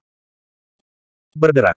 Suaranya seperti hujan deras yang turun dan angin yang bersiul. Di tengah hutan yang lebat, ranting-ranting dan daun-daun saling bergemerisik dan saling bertabrakan. Namun saat itu, awan magnetik di langit sedang tenang. Tidak ada hujan atau angin. Hanya bayangan hitam yang menyapu langit di ketinggian rendah, membawa serta angin kencang yang tiba-tiba mengaduk lautan pepohonan. Dari bawah, bayangan hitam ini tampak seperti seekor elang besar yang terbang tinggi di langit. Mereka yang memiliki penglihatan yang baik bahkan dapat melihat sosok yang berdiri di atasnya, melihat ke bawah ke sekeliling. Itu adalah Peri Moling dan Zhang Fan. Setengah bulan yang lalu, di depan Jue dan Hanyu, Zhang Fan menggunakan teknik peleburan api gagak emas dan teknik melarikan diri dari api yang terpasang pada jubah api Suan secara bersamaan. Dia menghilang dalam sekejap dan terbang keluar dari kota gunung rusak dalam beberapa tarikan napas. Sejak saat itu, dia bahkan tidak kembali ke gunung tandus kecil itu. Dia langsung mengikuti petunjuk pada slip giok dan setelah setengah bulan terbang, dia tiba di lautan pepohonan ini. Alasan mengapa dia begitu mencolok adalah karena dia memang sedang dikejar waktu dan tidak ingin terlibat dengan mereka lagi. Jika Mie Jue menjadi gila atau satu atau dua orang seperti dia muncul, dia harus melawan mereka. Jika tidak, dia tidak akan bisa melarikan diri. Biasanya, hal itu tidak menjadi masalah, terutama jika menyangkut asal-muasal metode kultivasi pedang Qi yang punah. Zhang Fan sangat tertarik, tetapi sekarang dia tidak bisa. Jika dia secara tidak sengaja membuang waktu dan menyebabkan Wan, Er melewatkan perawatan, sudah terlambat untuk menyesal. Kedua, itu adalah pertunjukan kekuatan. Melalui mulut Annihilation dan Han Yue, tidak ada orang lain yang berani menyentuh Wan Er. Kalau tidak, dengan kecepatan Zhang Fan, jika mereka menyinggung perasaannya, mereka mungkin tidak dapat membunuhnya. Dengan orang yang terbang secepat itu yang selalu menatap mereka dari samping, tidak ada yang bisa tidur dengan tenang. Setelah melakukan semua ini, Zhang Fan tidak lagi merasa khawatir. Dia melakukan perjalanan siang dan malam dan akhirnya tiba di sini dalam waktu sesingkat mungkin. Hutan bayangan hantu. Lautan pepohonan di bawah adalah hutan bayangan hantu. Tepatnya, itu adalah tepi hutan bayangan hantu. Dari sini, orang bisa tinggal di daerah yang terhindar dari deru air yang mengguncang. Pada saat ini, sambil memandang dari langit, Zhang Fan benar-benar mengerti mengapa tempat ini disebut hutan bayangan hantu, dan mengapa raungan gemetar air tinggal di sini. Jika dilihat dari atas, lautan pepohonan ini langka dan rimbun. Ia telah berada di dunia kultivasi bawah tanah selama beberapa waktu, tetapi ini adalah pertama kalinya ia melihat jenis tanaman lain yang dapat beradaptasi dengan lingkungan bawah tanah seperti ini kecuali Purple Cloud dan Flowing Mist. Lautan pepohonan di bawah tersusun dari satu tanaman. Tumbuhan ini, dari segi bentuk, tidak berbeda dengan pohon biasa. Cabang-cabangnya lurus dan dedaunannya lebat, menutupi langit. Jika seseorang berada di hutan, awan magnetik yang tak berujung tidak akan terlihat. Dari kerapatan cabang dan daunnya, orang dapat mengetahui bahwa bahkan ketika musim hujan magnetik tiba, mereka tidak perlu khawatir hujan akan jatuh ke tanah. Hanya cabang dan daun itu saja yang menjadi kanopi terbaik. Lautan pepohonan yang lebat seperti itu tentu saja langka, namun yang lebih langka lagi ialah pepohonan itu, baik cabangnya maupun batangnya, sama sekali berbeda dengan pohon biasa. Hitam. Warnanya hitam pekat seperti tinta, seperti malam yang mengalir. Seolah-olah awan-awan gelap yang besar telah menjadi pakaian lautan pepohonan ini. Dari jauh, yang terlihat hanyalah hitam pekat. Itu wajar saja, tetapi begitu didekati, persepsinya berbeda. Setiap helai daun, berapapun ukurannya, baik baru maupun lama, ditutupi urat-urat yang bening. Urat-urat ini bukan urat biasa, melainkan pola yang menyerupai kepala manusia. Kepala manusia pada pola-pola ini tampak benar, tetapi sebenarnya tidak. Kepala-kepala itu terdistorsi tak tertandingi. Rasanya seolah-olah banyak orang menderita siksaan yang mengerikan, penyiksaan tanpa akhir, dan ekspresi di wajah mereka. Kayu Hantu Yin. Zhang Fan menyimpan slip giok itu dan menatap lautan pepohonan di bawah sambil berpikir. Pohon ini disebut kayu Hantu Yin, yang mirip dengan nama hutan Hantu Yin. Menurut slip giok, kecuali tempat ini, selama puluhan ribu tahun, para pembudidaya belum pernah melihat pohon semacam ini di tempat lain. Tempat ini unik. Hutan Gos Yin tidak memiliki fungsi khusus. Jika ada yang istimewa, itu adalah bahwa di dalam lingkup hutan Gosyin, tidak ada binatang buas yang terlihat. Di lautan pepohonan yang begitu luas, tidak ada tupai, tidak ada ulat, bahkan ular, semut, nyamuk, dan kelabang biasa pun tidak terlihat. Hal-hal seperti ini biasanya menjengkelkan, tetapi di lingkungan seperti ini, tanpa hal-hal seperti itu, suasana langsung terasa sunyi senyap. Selain gemerisik dedaunan yang tertiup angin, yang ada hanyalah keheningan yang suram, dan itu membuat rambut seseorang berdiri tegak dan seluruh tubuhnya gemetar. Di langit di atas lautan pepohonan, Zhang Fan berdiri di punggung Primoling, melayang cukup lama, namun tidak mendarat. Tentu saja, dia tidak takut. Situasi hutan hantu Yin hanya bisa membuat takut orang-orang muda yang baru saja memulai karir mereka. Bagi orang-orang seperti dia yang telah mengalami ratusan pertempuran dan melihat segala macam hal aneh, itu hanyalah pemandangan biasa. Alasannya adalah untuk menemukan lanskap yang unik, pemandangan yang unik di hutan Gosyin. Itu saja. Zhang Fan, yang tadinya melihat ke kejauhan, tiba-tiba menjadi bersemangat. Ia mengetukkan kakinya pelan-pelan, dan Primoling pun mengerti. Ia pun berbalik dan langsung mengubah arahnya, terbang menuju tempat yang ditunjukkan oleh Sang Fan. Betapa cepatnya Primoling sekarang, hanya dalam beberapa tarikan napas, sebuah pemandangan aneh muncul di depan seorang pria dan seekor burung. Kelompok Danau Bintang Luo. Zhang Fan menatap semua yang ada di depannya, dan matanya bersinar dengan cahaya. Pada saat yang sama, dia merasa lega. Setelah banyak tergesa-gesa, dia akhirnya tiba di tempat itu. Pemandangan di depannya adalah di hutan Gosyin yang hampir tak terbatas, tiba-tiba muncul sebuah danau besar dan pemandangan hutan lebat. Wilayahnya sangat terfragmentasi. Sejauh mata memandang, wilayahnya membentang hingga ke perbatasan antara langit dan bumi. Ada banyak sekali danau dengan berbagai ukuran dan bentuk. Di antara semuanya, yang terkecil hanya dapat menampung tiga hingga lima orang untuk membersihkan tubuh mereka, yang biasa dapat berlayar di atasnya, memancing, dan berkeliaran, yang terbesar seperti laut pedalaman, dan orang tidak dapat melihat tepinya. Bahkan jika seseorang berada tinggi di langit, orang hanya dapat melihat samar-samar garis besar daratan, tetapi sulit untuk membedakan apakah itu sebuah pulau di danau. Danau seperti itu, bahkan di bawah pegunungan, jarang ditemukan, belum lagi banyaknya danau seperti itu di tengah hutan lebat. Pemandangan seperti ini mungkin satu-satunya di dunia. Kelompok danau ini, dalam slip giok yang diberikan oleh Han Yue, diberi nama, kelompok danau bintang Luo, yang juga tepat. Jika tidak ada grup danau bintang Luo, tidak akan ada grup Zhang Fan. Sesuai namanya, itu pasti binatang buas yang hidup di bawah air. Kalau tidak ada danau besar, bagaimana mereka bisa berkembang biak? Oleh karena itu, tempat ini adalah tujuan Zhang Fan yang sebenarnya. Primoling, turunlah, kami sudah sampai. Begitu Zhang Fan selesai berbicara, dia mendengar suara, gua-gua-gua, yang menandakan kegembiraan. Bahkan orang yang tuli pun dapat mendengar kegembiraan itu dengan jelas. Kemudian, ia jatuh, dan tubuhnya yang besar perlahan menyusut. Ketika memasuki kanopi hutan, ia telah kembali ke ukuran normalnya dan berdiri di bahu Zhang Fan. Yang berbeda dari biasanya adalah saat ini, peri Moling tampak lemah. Dia bahkan tidak memiliki sifat genit seperti biasanya. Kepalanya tertunduk, seolah-olah dia sedang tertidur. Ketika Zhang Fan melihat ini, dia tersenyum kecil dan mengulurkan tangan untuk membelai lembut kepala kecilnya, yang membuatnya sedikit lebih bersemangat. Setengah bulan ini memang berat baginya. Di tempat ini, terlepas dari apakah itu raungan surga yang mengguncang air atau bahaya tersembunyi, mereka dapat muncul kapan saja. Mempertahankan kekuatan adalah prioritas pertama, jadi tentu saja, dia hanya dapat menggunakan peri moling untuk bepergian. Setelah menenangkan si kecil, Zhang Fan melangkah maju dan dengan beberapa kilatan, dia terbang menjauh. Dia tidak langsung mendarat di danau karena dia berhati-hati. Jika dia memberitahu Water Sucking Heaven Roar, itu akan menjadi kerugian besar untuk keuntungan kecil. Di dalam air, Zhang Fan mengakui bahwa dia mungkin bukan lawan dari Water Sucking Heaven Roar, yang dianugerahi dengan Water Divine Ability. Lebih baik menyingkirkannya saat muncul ke permukaan. Jika memang begitu, serangan pertama pasti berhasil. Kalau tidak, siapa yang tahu berapa lama Water Sucking Heaven Roar akan bersembunyi di dalam air setelah terkejut. Dengan pemikiran ini, meskipun kecepatan Zhang Fan tidak berkurang, gerakannya jauh lebih lembut. Selain sesekali berbelok dan meninggalkan satu atau dua tanda yang dalam dan dangkal di batang pohon hantu, tidak ada suara sama sekali. Seolah-olah ada hantu yang melayang tanpa jejak. Setelah beberapa saat, samar-samar ia dapat melihat warna ombak di kejauhan. Tampaknya danau terdekat sudah tidak jauh lagi. Dengan baik, ada seseorang. Ekspresi Zhang Fan tiba-tiba berubah. Dia tiba-tiba berhenti dan menggerakkan tubuhnya. Dia melesat di balik pohon. Pada saat yang sama, indera ilahinya yang kuat tiba-tiba muncul dan langsung menutupi jarak beberapa mil. Pada saat itu, gelombang getaran ringan muncul dalam persepsinya melalui lapisan tebal daun-daun gugur di bawah kakinya. Anehnya, lapisan daun yang lembut pun bergetar, tetapi dia tidak mendengar suara langkah kaki. Ditambah dengan suasana aneh di hutan hantu, kewaspadaan Zhang Fan langsung meningkat. Di bawah perlindungan indera ilahi, tidak ada yang bisa disembunyikan. Satu di depan dan satu di belakang, dua sosok digambarkan dalam indera ilahi. Dengan baik, bagaimana mungkin? Begitu melihatnya, raut wajah Zhang Fan tiba-tiba tampak aneh. Ia tidak menyangka bahwa rahasia dan bahaya tersembunyi di hutan hantu ternyata seperti ini. Hanya dengan melihat penampilan orang-orang itu, Zhang Fan tahu identitas mereka. Pada saat yang sama, misteri kematian kultivator wanita tahap akhir Bearing Essence juga memiliki jawaban. Ini yang terbaik. Mata Zhang Fan berbinar, dan sebuah ide baru muncul dalam benaknya. 396. Itu sebenarnya mereka. Mata Zhang Fan berbinar, dan sebuah ide baru muncul. Di bawah garis besar indera keilahiannya, meskipun dia tidak tahu metode apa yang digunakan para pendatang baru itu untuk mencapai keadaan langkah kaki yang senyap, dia tidak dapat menahan diri untuk tidak memperhatikan mereka dengan saksama.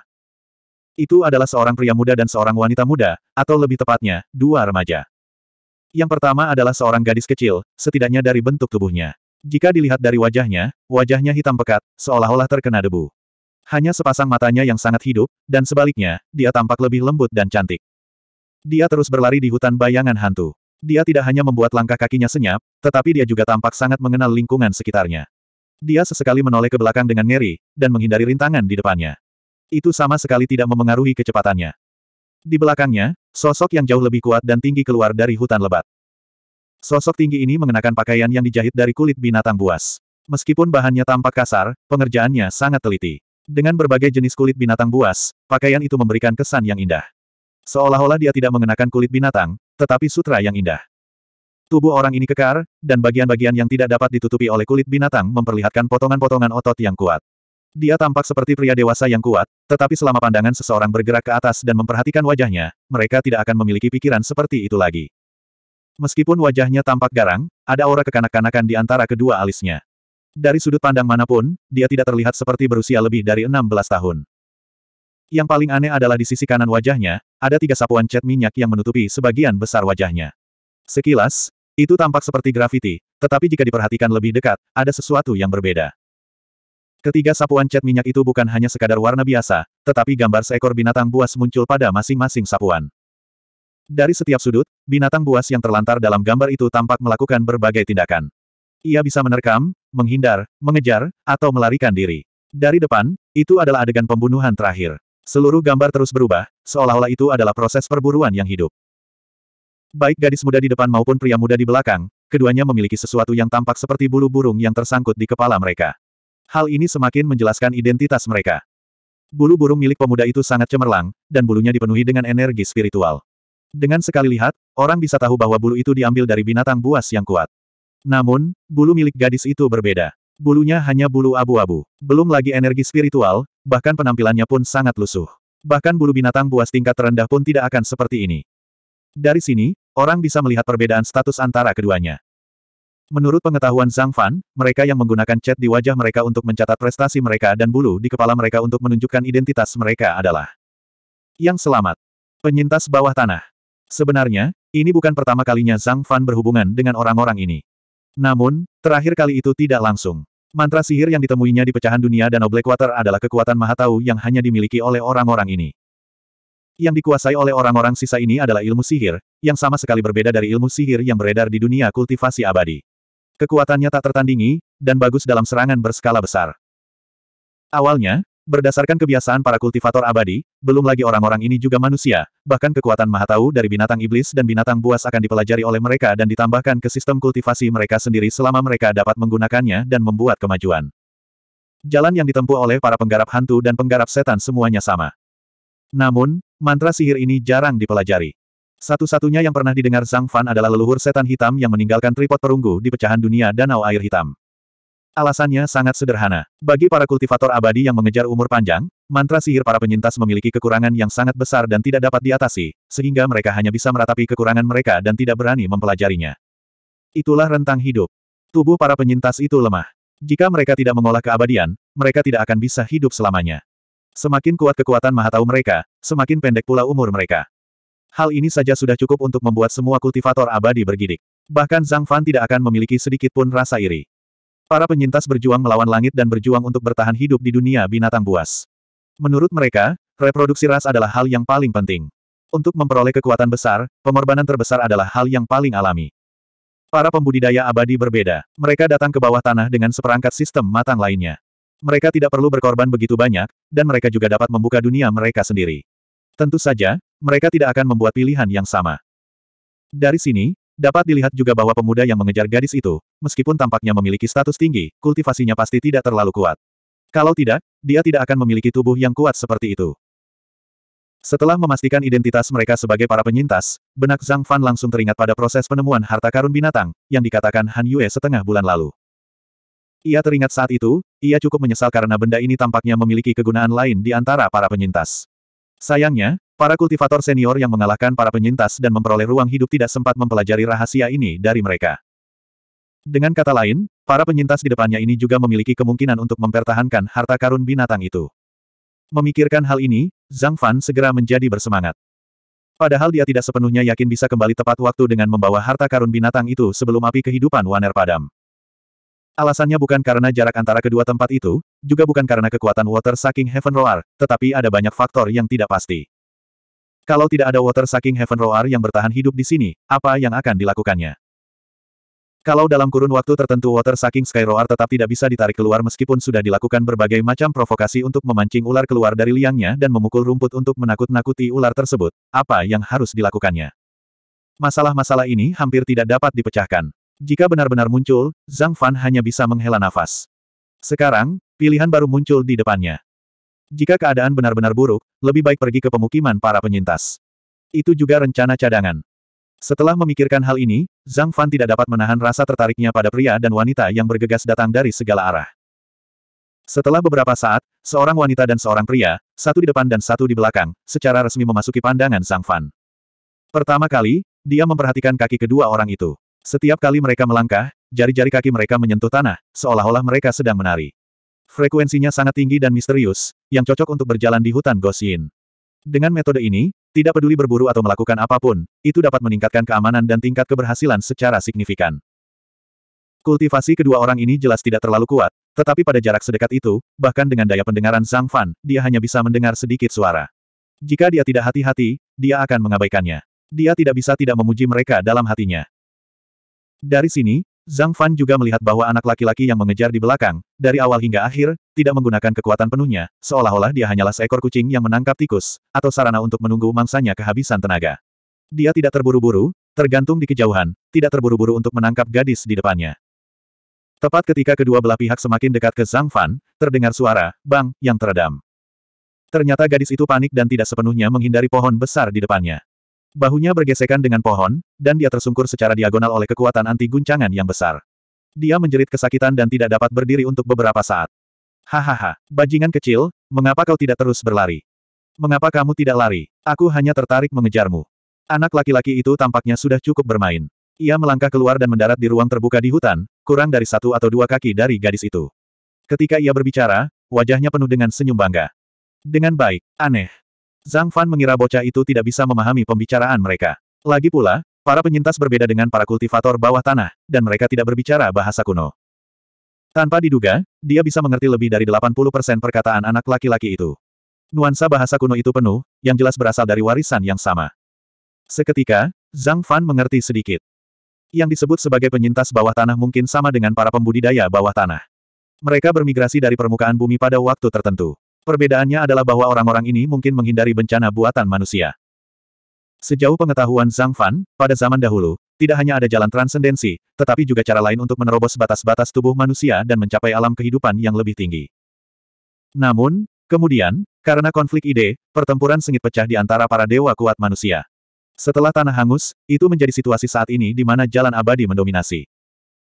Kalau dipikir-pikir, ilmu sihir juga masuk ke dunia bawah tanah ini melalui beberapa cara yang tidak diketahui saat itu. Hanya dari bahasa yang mereka gunakan, Zhang Fan langsung menilai semua ini. Dari awal hingga akhir, hanya butuh dua atau tiga kalimat. Dalam ejekan anak laki-laki itu, gadis yang duduk di tanah meneteskan air mata, seperti embun yang bersinar di bawah sinar matahari. Entah itu karena takut atau rasa sakit sebelumnya, tidak ada yang tahu. Melihat kejadian ini, bocah itu tidak merasa kasihan sedikitpun. Sebaliknya, dia berkata dengan penuh kebencian, merupakan kehormatan bagimu untuk dikorbankan oleh klan, bajingan kecil. Beraninya kau melarikan diri, kamu benar-benar tidak tahu bagaimana menghargai bantuan. Aku, dot aku tidak mau. Gadis itu perlahan berdiri dengan bantuan batang pohon di sampingnya. Dia menggelengkan kepalanya dan berkata dengan nada sedih, kenapa aku? Aku tidak ingin dikorbankan. Cari saja orang lain.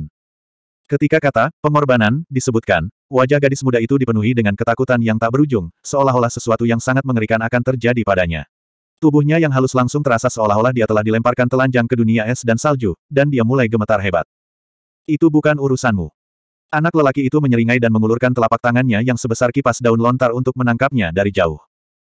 Bajingan kecil, kau benar-benar sama seperti ibumu yang orang luar. Kalian berdua rendahan. Kau bahkan berani melarikan diri dari sesuatu yang sakral seperti berkorban. Apalagi yang tidak bisa kau lakukan. Orang tua itu benar. Kalian semua orang luar adalah bajingan, pencuri, dan pembohong. Kalau tidak, bagaimana mungkin kalian bisa mengejar kami, klan suci yang agung, ke tempat terkutuk ini? Kau pasti telah menggunakan cara yang tercela. 397. Kau pasti telah menggunakan cara yang tercela. Pada awalnya, kata-kata pemuda itu masih mengejek dan mengejek wanita muda itu. Namun menjelang akhir, dia benar-benar gelisah dan suaranya keras. Jika bukan karena fakta bahwa burung dan binatang buas telah punah di hutan hantu Yin, itu akan mengejutkan banyak burung. Nihan, kamu bicara omong kosong.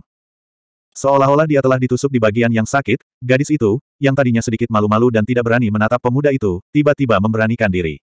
Dia tidak hanya langsung memanggil nama pemuda itu, tetapi dia juga mengangkat kepalanya dan melanjutkan, ibuku bukan orang seperti itu. Dia sangat, sangat baik. Hem. Bagaimana orang luar bisa menjadi baik? Lihatlah kau bajingan dan kau akan tahu. Mulut Nihan penuh dengan penghinaan, tetapi tangannya tidak berhenti bergerak. Dia mencengkeram leher gadis itu seolah-olah sedang mengangkat anak kucing.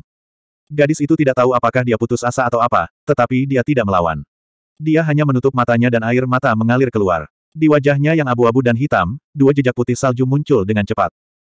Dari percakapan mereka, Zhang Fan kurang lebih mengerti apa yang sedang terjadi. Gadis yang baru saja melewati batas seorang gadis muda ini ternyata adalah keturunan campuran dari seorang kultivator dan seorang survivor. Meskipun dia tidak tahu ceritanya, dari sikap Nihan, dia tahu bahwa kehidupan gadis ini di suku itu pasti sangat sulit.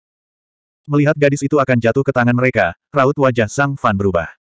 Dia siap menangkap mereka berdua bersama-sama dan menanyakan situasi spesifiknya. Terutama kekuatan suku, itu yang paling penting. Beberapa dekade lalu, mereka dapat menyebabkan kematian seorang kultivator wanita di tahap inti sari akhir, tetapi mereka membiarkannya lari begitu jauh dan hampir menyelamatkannya.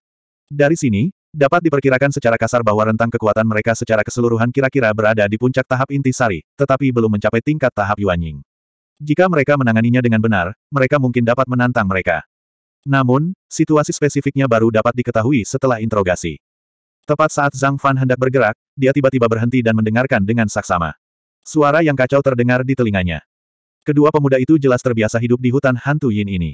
Mereka punya cara sendiri. Saat mereka menemukan sesuatu yang salah, mereka hanya satu atau dua ketukan lebih lambat dari Zhang Fan. Satu atau dua ketukan inilah yang membuat mereka kehilangan kesempatan untuk menghindar. Ledakan. Pohon-pohon hancur, dan sejumlah besar bayangan jatuh. Di bawah reaksi berantai, sederetan besar pohon juga tumbang, secara paksa membuka jalan di hutan lebat. Mampu bertahan hidup di hutan Gosyin dan menyebabkan keributan seperti itu, tentu saja ia adalah binatang yang terpencil. Benar saja, dalam sekejap mata, sebuah sosok besar muncul di bidang penglihatannya. Naga bumi bergulir. Mengapa dia ada di sini? Nihan dan gadis itu berseru pada saat yang sama. Naga bumi yang menggulung. Zhang Fan tentu saja tidak begitu mengenal binatang buas di sini seperti penduduk setempat. Dia melirik sekilas tetapi tidak dapat mengenali satu pun dari mereka. Itu adalah Huang Bis yang bertubuh kekar. Ia meringkuk saat muncul. Ia bergetar sejenak sebelum merenggangkan tubuhnya. Ia memiliki kepala naga dan tubuh ular. Bahkan ada gigi tajam di mulutnya, sementara aura liar dan ganas terpancar. Meskipun dia tidak mengenali binatang buas terpencil ini, dilihat dari keributan yang ditimbulkannya saat muncul dan aura yang dipancarkannya, setidaknya itu adalah binatang buas terpencil yang setingkat dengan kadal bumi. Jika seseorang tidak memiliki kekuatan seperti kultivator tahap dasar, mereka mungkin tidak akan mampu bertahan hidup di bawah tangannya. Kedua pemuda itu tentu saja tidak memiliki kekuatan seperti itu. Hal ini terlihat dari wajah Nihan yang tiba-tiba pucat. Jelas, Binatang buas ini telah memperlakukan dua pemuda di depannya sebagai makanan lesat. Setelah muncul beberapa saat, tanah di bawah kepalanya sudah basah oleh air liur. Dengan suara, cila, seolah-olah daun-daun yang jatuh di tanah telah terkikis. Pada saat ini, Nihan tiba-tiba tampak terbangun dari mimpi. Ia meraba-raba dadanya dan mengeluarkan sesuatu yang tampak seperti seruling tulang dan memasukkannya ke dalam mulutnya. Area di bawah dadanya tiba-tiba membengkak, seolah-olah ia sedang menghirup udara dengan sekuat tenaga. Tampaknya ia akan meledakkannya. Fungsi seruling tulang ini adalah agar tidak dapat menghindar dari panggilan pertolongan. Namun, bahkan jika seseorang benar-benar datang untuk menolong, apa yang dapat mereka lakukan? Paling-paling, mereka hanya akan melihat dua tumpukan tulang. Nihan mungkin tidak menyadari hal ini, tetapi orang yang hampir tenggelam tidak semudah itu menyerah begitu saja. Sayangnya kenyataan memaksanya menyerah. Sebelum suling tulang ditiup, bau amis tercium di wajah mereka. Seketika, pandangan mereka menjadi gelap, dan sesosok tubuh besar melesat dari udara. Melihat postur itu, sepertinya mereka berdua akan hancur berkeping-keping. Ah! Dengan teriakan aneh, seruling tulang itu terlempar. Nihan berguling ke samping dan pada saat yang sama, gadis itu juga mati-matian menghindar ke samping. Masing-masing dari mereka menghindar ke arah yang berbeda, hanya membuat naga bumi yang bergulir itu menerkam tanpa melakukan apa pun. Kali ini, tampaknya binatang itu marah. Ia mengayunkan ekornya dengan ganas, dan pohon peneduh hantu jatuh membentuk kipas, menciptakan ruang kosong yang besar. Kemudian, ia menerkam lagi, membawa angin kencang, menekan ke arah Nihan. Mungkin, di matanya, pria kuat seperti Nihan memiliki lebih banyak daging daripada tubuh kecil gadis itu. Begitu Nihan menoleh, dia melihat naga bumi bergulir menempel padanya seperti plester kulit anjing. Dia ingin menghindar lagi, tetapi sudah terlambat. Wajahnya tidak bisa menahan ekspresi putus asa. Tepat pada saat ini, situasinya tiba-tiba berubah. Sebuah bola api menyambar dan langsung meledak hingga ketinggian beberapa kaki, yakni di antara bocah itu dan naga bumi bergulir. Wajah Nihan tiba-tiba memantulkan warna merah menyala, dan matanya memantulkan sosok dengan satu tangan di belakang punggungnya dan satu tangan di depannya, menghadap naga bumi bergulir. Nama naga bumi bergulir memang tepat. Cara paling umum untuk menyerang binatang buas di depannya adalah berguling-guling di tanah. Baik itu pohon atau batu besar, semuanya hancur menjadi bubuk. Tetapi sekarang setelah dia bertemu Zhang Fan, itu tidak akan semudah itu. Ledakan. Seperti menambahkan minyak ke api, atau seperti semua kayu bakar telah terbakar habis, sebuah obor besar muncul di hutan hantu dan bayangan. Ao! Raungan yang sangat menyakitkan tiba-tiba keluar dari mulut naga tanah bergulir. Tak lama kemudian, naga itu terpental ke udara dengan kecepatan yang berkali-kali lipat lebih cepat daripada saat ia datang. Ditambah dengan kobaran api di tubuhnya, ia seperti matahari yang menyala-nyala yang tiba-tiba muncul di tengah hutan lebat yang suram. Pada saat yang sama, sebuah bayangan hitam terbang keluar dari bahu Zhang Fan, dengan cepat membesar, dan tiba-tiba menerkam. Peri Moling. Ketika berada di bahu Zhang Fan, ukurannya hanya sebesar burung gagak biasa, tetapi dalam sekejap, ukurannya menjadi besar. Sepasang cakar burung gagak mencengkeram tubuh naga bumi bergulir yang terbakar api. Menutup mata terhadap kobaran api yang mengelilingi naga tanah bergulir, Mo Ling berteriak kegirangan. Mengepakkan sayapnya yang besar dengan ganas, badai yang dahsyat muncul, meniup daun-daun yang tak terhitung jumlahnya dari tanah. Sambil berpegangan pada naga tanah bergulir, Moling terbang tinggi ke langit. Dalam sekejap, mereka melewati hutan lebat, berubah menjadi titik hitam kecil di langit, dan perlahan menghilang. Hanya raungan naga tanah bergulir yang sangat menyakitkan yang bisa terdengar. Api Zhang Fan begitu kuat sehingga tidak mungkin seekor binatang buas dengan kekuatan Foundation Establishment Stage dapat menahannya. Pada saat kontak, sebagian besar tubuh Rolling Earth Dragon hampir matang. Sisa masalahnya diserahkan kepada Moling Fairy. Jadi dia tidak lagi memerhatikannya. Dia melihat sekeliling dan melihat semua ekspresi gadis itu dan Nihan. Khususnya, wajah gadis itu tampak menunjukkan campuran keterkejutan dan kerinduan, tetapi tidak ada kekurangan kewaspadaan. Itu sangat rumit. Ekspresi Nihan jauh lebih sederhana. Rasa terkejut karena diselamatkan menghilang, dan tidak ada jejak rasa terima kasih. Semua itu berubah menjadi kewaspadaan dan kebencian yang kuat. Salah satu telapak tangannya bahkan diam-diam terulur ke belakang. Jika aku jadi kamu, aku tidak akan melakukan hal-hal bodoh. Zhang Fan tidak menoleh ke belakang, dan terus berkata sambil membelakanginya. Hah? Wajah Nihan menunjukkan ekspresi ngeri. Dia tidak mengerti bagaimana Zhang Fan mengetahui bahwa gerakannya sangat tersembunyi. Segalanya tidak berjalan baik, tetapi dia tidak gentar. Sebaliknya, dia menggertakkan giginya, tiba-tiba mengeluarkan benda seperti belati dari belakang, memegangnya dengan kedua tangan, dan bergegas maju. Orang luar, pergilah ke neraka. Nihan berteriak, sambil memegang belati dengan kedua tangan, dan dengan ganas memahat punggung Zhang Fan. Saat ini, Zhang Fan masih belum berniat untuk berbalik, seolah-olah dia sama sekali tidak menyadarinya. Melihat ini, mata Nihan bersinar dengan sedikit kegembiraan, dan ekspresi di wajahnya menjadi semakin kejam dan ganas. Orang luar semuanya pembohong, pencuri, dan orang yang tidak kompeten. Mereka hanya bisa melukai klan suci yang agung dengan mengandalkan serangan diam-diam. Pendidikan dari masa kecil hingga dewasa membuatnya tiba-tiba jatuh ke dalam semacam fanatisme. Matanya merah menyala, penuh kegembiraan. Untuk dapat membunuh orang luar dengan tangannya sendiri, itu pasti cukup untuk menambahkan garis cat ke wajahnya. Mengapa kau lakukan ini pada dirimu sendiri? Tepat ketika bilah belati itu hanya berjarak sekitar satu kaki dari punggungnya, sebuah suara yang terdengar seperti mendesah terdengar santai.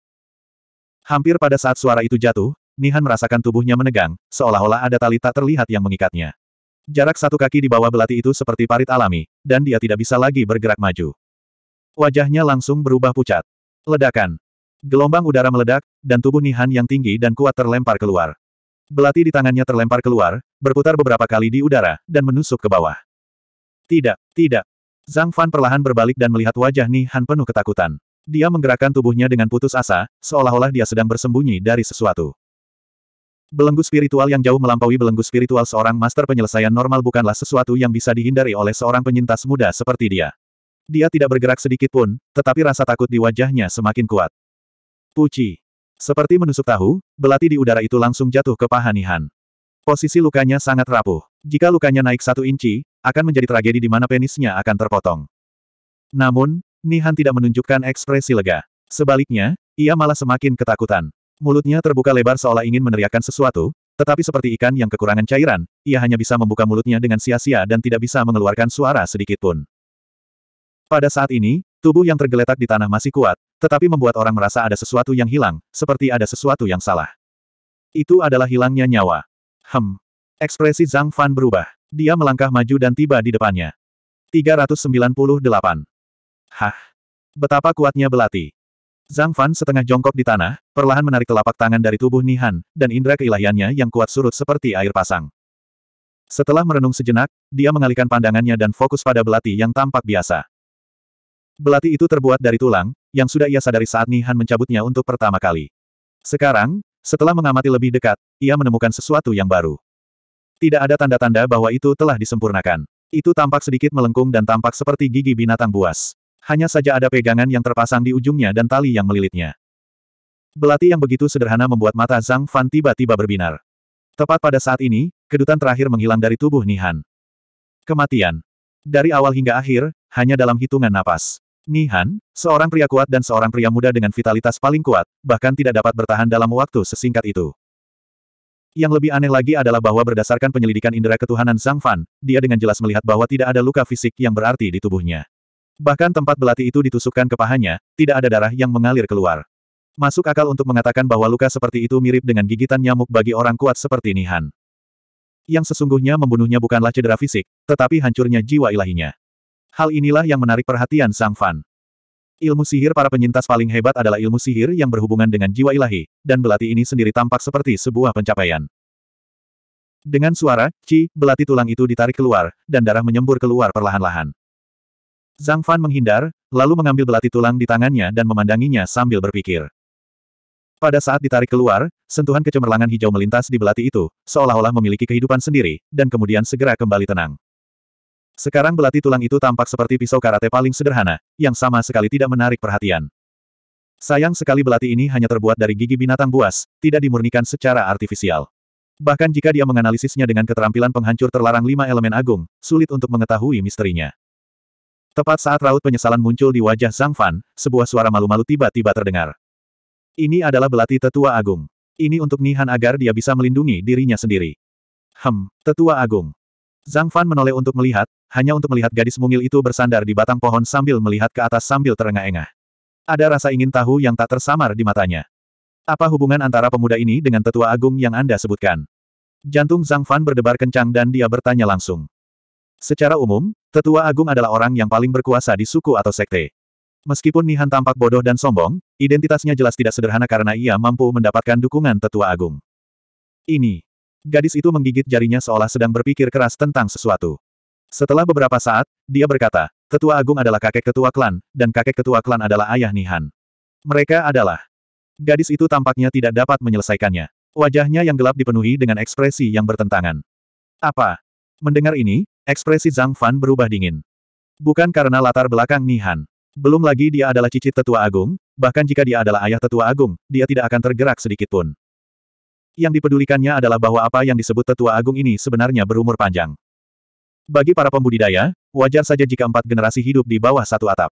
Bahkan di antara manusia biasa, ada banyak contoh seperti itu. Namun, orang-orang sisa berbeda. Ilmu sihir mereka membuat mereka sulit untuk hidup selamanya. Terutama bagi orang sekuat tetua agung, itu bahkan lebih. Umumnya, jarang bagi seseorang untuk hidup lebih dari 40 atau 50 tahun. Mungkinkah? Zhang Fan merenung sejenak. Tiba-tiba, dia mengangkat kepalanya, menyingkirkan belati itu dan bertanya kepada gadis itu, siapa namamu?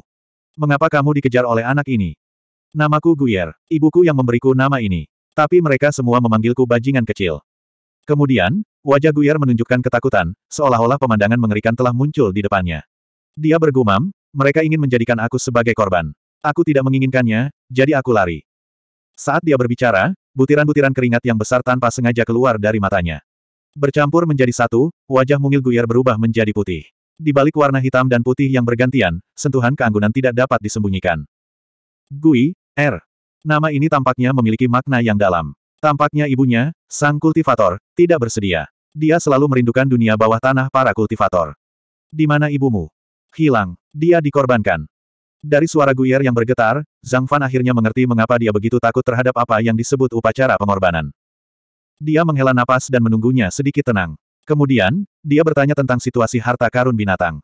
Ketika menyebutkan ini, wajah Zhang Fan penuh dengan harapan. Jika suku Guyer benar-benar memiliki harta karun binatang, maka itu benar-benar pertolongan Tuhan. Setelah mendengarkan penjelasannya, Guyer memiringkan kepalanya dan berpikir sejenak. Awalnya dia menggelengkan kepalanya. Kemudian, seolah-olah dia tiba-tiba memikirkan sesuatu, dia berseru, Guyer tahu. Tetua Agung memiliki sebuah benda yang tergantung di pinggangnya. Guyer pernah melihatnya sebelumnya. Sang Tetua Agung lagi. Zhang Fan mengerutkan kening. Tiba-tiba dia merasa akan berselisih dengan tetua pertama. Sebenarnya, lebih tepat untuk bertanya kepada Nihan, putra bangsawan suku. Sayangnya, dia tidak menyangka kengerian belati tulang dan meninggal terlalu cepat. Sekarang, dia hanya bisa mendapatkan beberapa petunjuk dari mulut gadis semalang ini. Sebuah pertanyaan dan sebuah jawaban. Setelah beberapa saat, hutan menjadi sunyi. Zhang Fan mengusap dagunya dan merenung. Menurut apa yang dikatakan Guyer, suku ini sebenarnya tidak besar. Mereka baru pindah ke sini beberapa tahun belakangan ini. Namun, hal ini tidak memiliki nilai referensi apa pun. Setelah kematian kultivator wanita Core Formation tahap akhir, selama mereka waras, mereka akan tahu bahwa Sekte Bulan Hitam akan datang untuk menyelidiki. Jika mereka tidak pindah sementara, maka itu akan menjadi aneh. Ini tidak mengejutkan. Yang membuatnya tertarik adalah Guyer menyebutkan bahwa pengorbanan ini dilakukan untuk perburuan besar-besaran. Tampaknya ada hubungannya dengan Tetua Agung. Zhang Fan tidak bisa mengabaikan ini. Di hutan hantu Yin ini, target yang paling mungkin untuk perburuan skala besar adalah raungan mengguncang surga yang menghindari air. Terlebih lagi, entah dari buku-buku kuno atau dari mulut orang lain, dia tahu bahwa harta karun binatang itu jelas sangat penting bagi suku sisa. Ini meningkatkan kemungkinan itu dengan sangat besar. Dalam hal berburu dan memancing keluarnya raungan mengguncang langit yang menghindari air, meskipun Zhang Fan yakin bahwa dirinya kuat, dia mungkin tidak sehebat suku sisa yang telah berurusan dengan binatang buas selama bertahun-tahun. Dia dapat memanfaatkan kesempatan ini. Setelah beberapa saat, Zhang Fan mengambil keputusan. Dia mengangkat kepalanya dan melihat bahwa Guier masih menatapnya dengan takut-takut, seolah menunggu sesuatu. Gui, Er, kamu mau pergi ke mana? Mendengar pertanyaan Zhang Fan, wajah Guier tiba-tiba berseri-seri. Ia berkata dengan penuh kerinduan, Guyer ingin pergi ke kota besar yang diceritakan ibu kepadaku dan mempelajari beberapa keterampilan. Kemudian, pelajari beberapa keterampilan dan kembalilah. Orang-orang di suku itu tidak akan menindas Guyer lagi. Apakah kamu tidak ingin tinggal di kota? Aku tidak mau. Ibu bilang di sana sangat bagus. Tapi Guyer tetap ingin kembali ke suku. Meskipun gadis muda ini diganggu di suku tersebut, dia masih memiliki hati seperti bunga teratai. Jika dia mengatakan bahwa dia ingin kembali ke suku untuk membalas dendam atau tidak pernah kembali, Zhang Fan tidak akan terkejut dan tidak akan peduli. Namun sekarang setelah dia mendengarnya, dia tidak dapat menahan keinginan untuk membantunya. Itu hanya keinginan kecil seorang gadis muda yang polos. Jika dia benar-benar pergi ke kota-kota besar itu dan melihat kemakmuran dunia kultivasi abadi, apakah dia masih akan kembali ke suku yang sederhana dan primitif? Akhirnya, Zhang Fan tidak mau memikirkannya lagi. Dia hanya mengeluarkan sepotong batu giok dari dadanya dan mengukir peta jalan kasar di atasnya. Dia menyerahkannya kepada gadis muda itu dan berkata, paling lama lima hari lagi, aku akan lewat sana. Jika kamu bisa muncul di tempat ini, aku akan membawamu kembali ke kampung halaman ibumu. Benar-benar. Gadis muda itu memegang batu giok itu dengan kedua tangannya dan melompat ke girangan. Wajah kecilnya yang kotor tiba-tiba menjadi ceria. Pergi. Zhang Fan melambaikan lengan bajunya dan mayat Nihan menghilang. Darah yang terciprat ke tanah juga menguap menjadi kabut darah dan menyebar ke seluruh hutan. Setelah melakukan semua ini, Zhang Fan mengangguk ke arah Guyer. Tubuhnya bergerak dan dengan sekejap, dia tiba-tiba menghilang di depan Guyer. Di tempat asalnya, hanya ada seorang gadis kecil yang memegang potongan batu giok itu dengan mata penuh kerinduan. Karena akan ada pengorbanan, waktu bagi suku sisa untuk bergerak tidak akan lama lagi. Zhang Fan tentu saja tidak akan menunda. Dia mengikuti rute yang dimintanya dari Guyer dan berjalan cepat melewati hutan hantu Yin. Tanpa disadari, peri Moling telah kembali ke bahunya. Adapun naga bumi yang bergulir, apakah itu menghilang ke dalam perutnya atau sesuatu yang lain, Zhang Fan tidak peduli. Setelah setengah jam, sebuah bangunan buatan muncul di bidang penglihatannya. Di bawah kabut hutan, bangunan itu samar-samar terlihat. Ini jelas merupakan suku yang besar. Sekilas, ada tidak kurang dari seribu rumah. Meskipun setiap rumah sederhana dan kasar, rumah-rumah itu dibangun secara kasar dari hutan Gosyin. Namun, tidak ada masalah bagi tiga hingga lima orang untuk tinggal di setiap rumah. Dengan cara ini, setidaknya ada ribuan orang di suku ini. Ditambah dengan tradisi semua anggota suku Remnan yang menjadi prajurit, tidak mudah untuk menghadapinya. Saat ini, suku yang muncul di hadapan Zhang Fan tampak sepi. Suku itu sama sekali tidak tampak seperti suku besar dengan ribuan orang. Hanya ada beberapa wanita dan anak-anak yang sesekali keluar masuk. Bahkan tidak ada seorang pria pun yang kuat. Rumah-rumah itu tentu saja tidak bisa menjadi hiasan. Maksudnya, Zhang Fan berencana menangkap seseorang untuk diinterogasi. Tiba-tiba, Ekspresinya berubah dan dia melihat ke kejauhan. Tempat itu berkilauan. Itu ada di suatu tempat di gugusan Danau Bintang Luo. Sebuah suara gemuruh seperti auman sapi dan auman naga terdengar dari tempat itu dan tiba-tiba bergema di dalam hutan. Bang bang bang bang. Dalam sekejap, genderang itu mengguncang langit dan meraung. Seluruh hutan Gos Yin bergetar karenanya. Suasana dingin memenuhi udara. 399. Dental, dengung, dengung, dengung. Suara genderang menggetarkan langit, dan suasana membunuh memenuhi udara. Bahkan raungan panjang yang terdengar seperti suara sapi dan naga juga terdengar. Seluruh hutan hantu Yin tampak bergetar karena suara genderang perang. Awan gelap yang tak terhitung jumlahnya jatuh seperti hujan, suram dan sunyi. Air bergetar mengaum. Mereka sudah memulai. Zhang Fan tiba-tiba menarik kembali langkahnya dan mendengarkan sebentar. Sentuhan kegembiraan muncul di antara alisnya. Raungan yang terdengar seperti auman sapi dan auman naga itu terdengar seperti palu godam tak terlihat yang menghantam telinga seseorang dari jauh. Itu adalah kekuatan dahsyat yang ingin mengguncang jiwa seseorang keluar dari tubuhnya. Tentu saja, itu adalah raungan air yang mengguncang surga. Jelaslah para penyintas itu telah memulai dan berhasil menarik water saking roar keluar dari air. Memikirkan hal ini, Zhang Fan tidak berani menunda lagi. Dia segera menyingkirkan ide untuk menjelajahi suku itu dan menghilang dengan gemetar. Sebuah pita merah menyala menahan napas tetapi tidak melambat. Pita itu dengan cepat melewati hutan lebat. Setelah beberapa putaran, pita itu melewati deretan terakhir pepohonan tinggi dan tiba-tiba terbuka di depannya. Yang tampak di depannya adalah sebuah danau besar, berkilau, dan luas yang tampaknya tidak memiliki batas. Pemandangan seperti danau besar di tengah hutan lebat ini tiba-tiba muncul di mata Zhang Fan. Di tengah hutan lebat, medan yang awalnya hanya tampak naik turun tiba-tiba menjadi cekung di tempat ini. Cekungan di tengahnya seperti corong, yang kebetulan berisi sejumlah besar air danau, membentuk danau halus seperti cermin. Pada hari kerja, danau yang tenang memantulkan awan magnetik tinggi di langit dan hutan Gosyin di semua sisi, seperti gulungan gambar indah yang hidup dan terus berubah. Jika seseorang dapat menggunakan perahu kecil untuk memancing di danau, ia akan sebebas makhluk abadi. Sayangnya saat ini pemandangan indah seperti itu tidak ada lagi di tengah konfrontasi kedua belah pihak. Sekitar tiga kaki di atas permukaan danau, lapisan aura hijau tua tebal yang tampaknya memiliki substansi menyebar jauh dan luas, menutupi seluruh permukaan danau yang tidak dapat dilihat sekilas. Aura hijau tua ini tidak tenang, dan terus bergulir dan mendidih. Melihat dari kejauhan, tampak ada banyak pohon palem hijau tua yang menggaruk ke langit, seolah-olah mereka akan menyeret orang ke danau untuk dikubur bersama mereka. Itu jelas bukan kekuatan sihir biasa yang dapat menyebabkan kejadian seperti itu. Tujuan melakukan ini tentu saja bukan untuk hiasan. Kekuatan aura hijau tua dapat terlihat dari sosok besar di langit. Mata Zhang Fan tertuju padanya untuk pertama kalinya. Itu adalah tujuan perjalanannya, raungan air yang mengguncang. Deru air yang mengguncang di atas danau, ke atas, ke bawah, ke kiri dan ke kanan, ke arah mana pun orang memandang, kelilingnya hampir mencapai 30 kaki. Seperti bukit di udara, tetapi tidak membuat orang merasa kembung. Kepalanya besar dan bengkok, dan lubang hidungnya yang menonjol terus-menerus terengah-engah. Di bawah lubang hidungnya, mulut besar yang menutupi sebagian besar wajahnya terbuka dan tertutup. Aliran udara yang tak berujung melonjak dengan kacau, seolah-olah dapat berubah menjadi gemuruh yang menggetarkan surga kapan saja. Pada tubuh Water Saking Roar, di bawah pantulan riak-riak di permukaan air, sinar magnetik di langit, dan cahaya lainnya, sisik-sisik di sekujur tubuhnya menunjukkan warna pelangi. Itu sangat menyilaukan, seolah-olah ada cermin yang tak terhitung jumlahnya yang tertanam di atasnya. Kekuatan sisik-sisik ini tidak perlu dijelaskan lagi. Hanya dengan melihat lekukan-lekukan yang tak terhitung jumlahnya di permukaannya, orang bisa tahu seberapa kuat pertahanannya. Bekas-bekas penyok itu masih sangat segar. Kemungkinan besar bekas-bekas itu baru saja menghantam tubuh Water Saking Heaven Roar. Ada begitu banyak penyok, tetapi tidak ada satupun yang menembus sisik-sisiknya. Paling-paling, itu hanya merangsang sifat liarnya. Namun, raungan air yang mengguncang ini tidak sepenuhnya tanpa cedera. Di tubuhnya yang besar, masih ada beberapa tempat di mana darah merah gelap terlihat mengalir menuruni sisiknya dan mengalir ke aura hijau gelap di bawahnya, di mana darah itu langsung ditelan. Luka berdarah ini jelas terjerat oleh aura hijau tua, mencegah luka sembuh dan menyebabkan darah mengalir tanpa henti. Aura itu perlahan-lahan menghabiskan kekuatannya. Mungkin karena aura hijau gelap yang menyelimutinya, water saking roar di langit tidak mundur kembali ke dalam air. Sebaliknya, ia berhadapan dengan ratusan orang di lapangan. Meskipun binatang besar ini sudah terluka, ia masih menyebarkan daya tangkalnya yang besar ke seluruh langit tanpa rasa takut.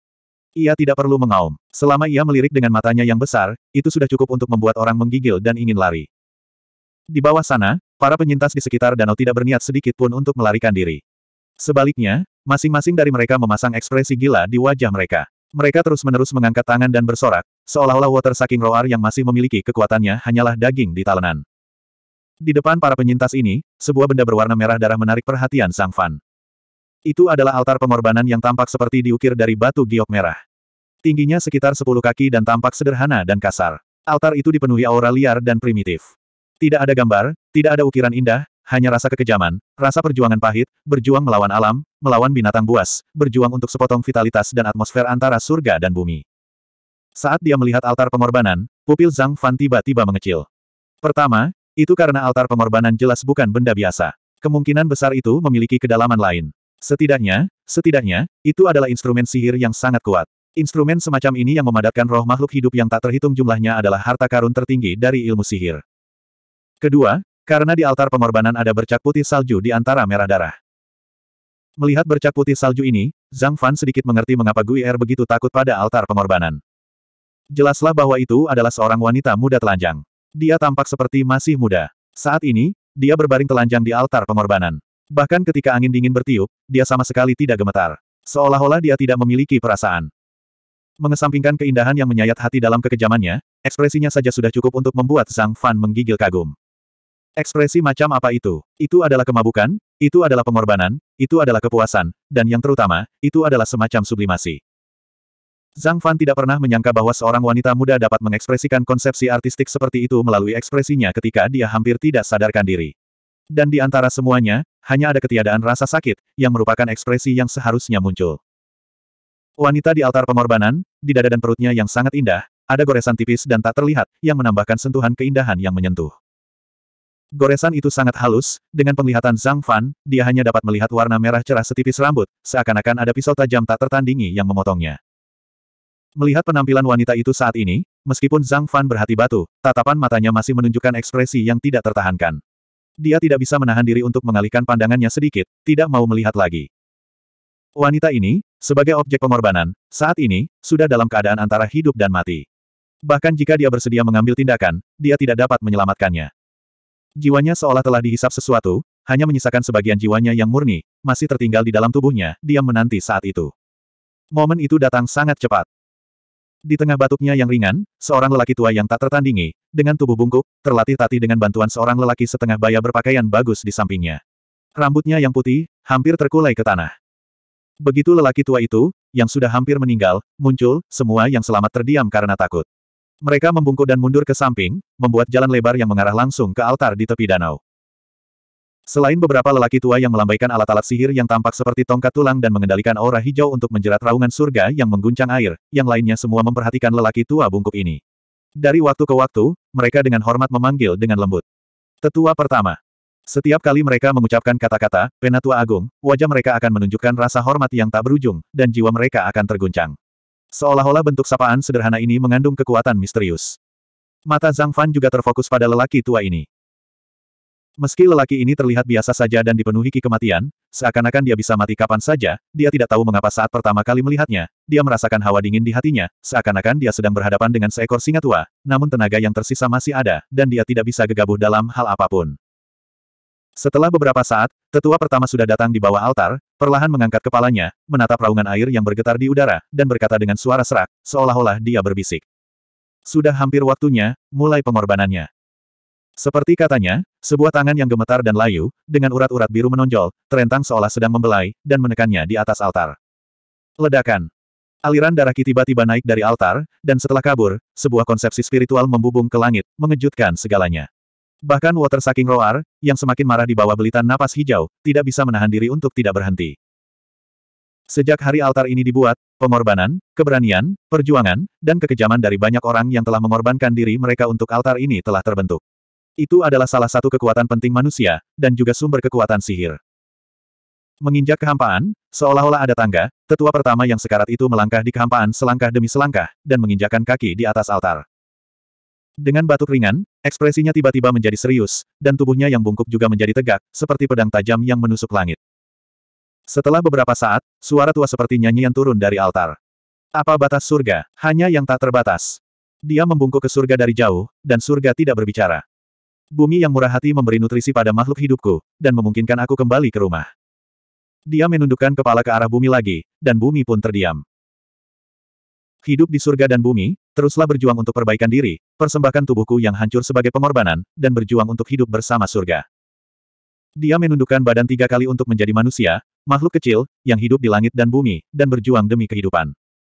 Langit, bumi, manusia, hantu, dan dewa, menangkan kun bulu bersisik. Ji. Suara lama itu, pada awalnya, begitu rendah hingga tak terdengar, namun kemudian, menggetarkan seluruh dunia, bahkan gemuruh water saking roar tak dapat menutupinya. Ledakan. Suara seperti guntur itu adalah akibat dari tiga kali hantaman lelaki tua itu. Begitu kata, Ji keluar, rasanya seperti langit, bumi, manusia, hantu, dan dewa semuanya merespons pada saat yang sama. Kekuatan tak terbatas, dari tubuh kurus tetua pertama, dari altar yang penuh dengan kidarah, perlahan muncul. Ini, Melihat perubahan di atas altar, wajah Zhang Fan berangsur-angsur menjadi serius, penuh kesungguhan. 400. Ini. Tetua Agung membungkuk tiga kali kepada langit, bumi, dan manusia.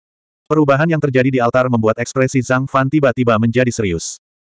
Suara siulan itu memenuhi dunia. Itu bukanlah suara angin dan hujan, juga bukan suara nyata. Itu terdengar langsung dari lubuk jiwa seseorang. Itu sangat aneh dan misterius.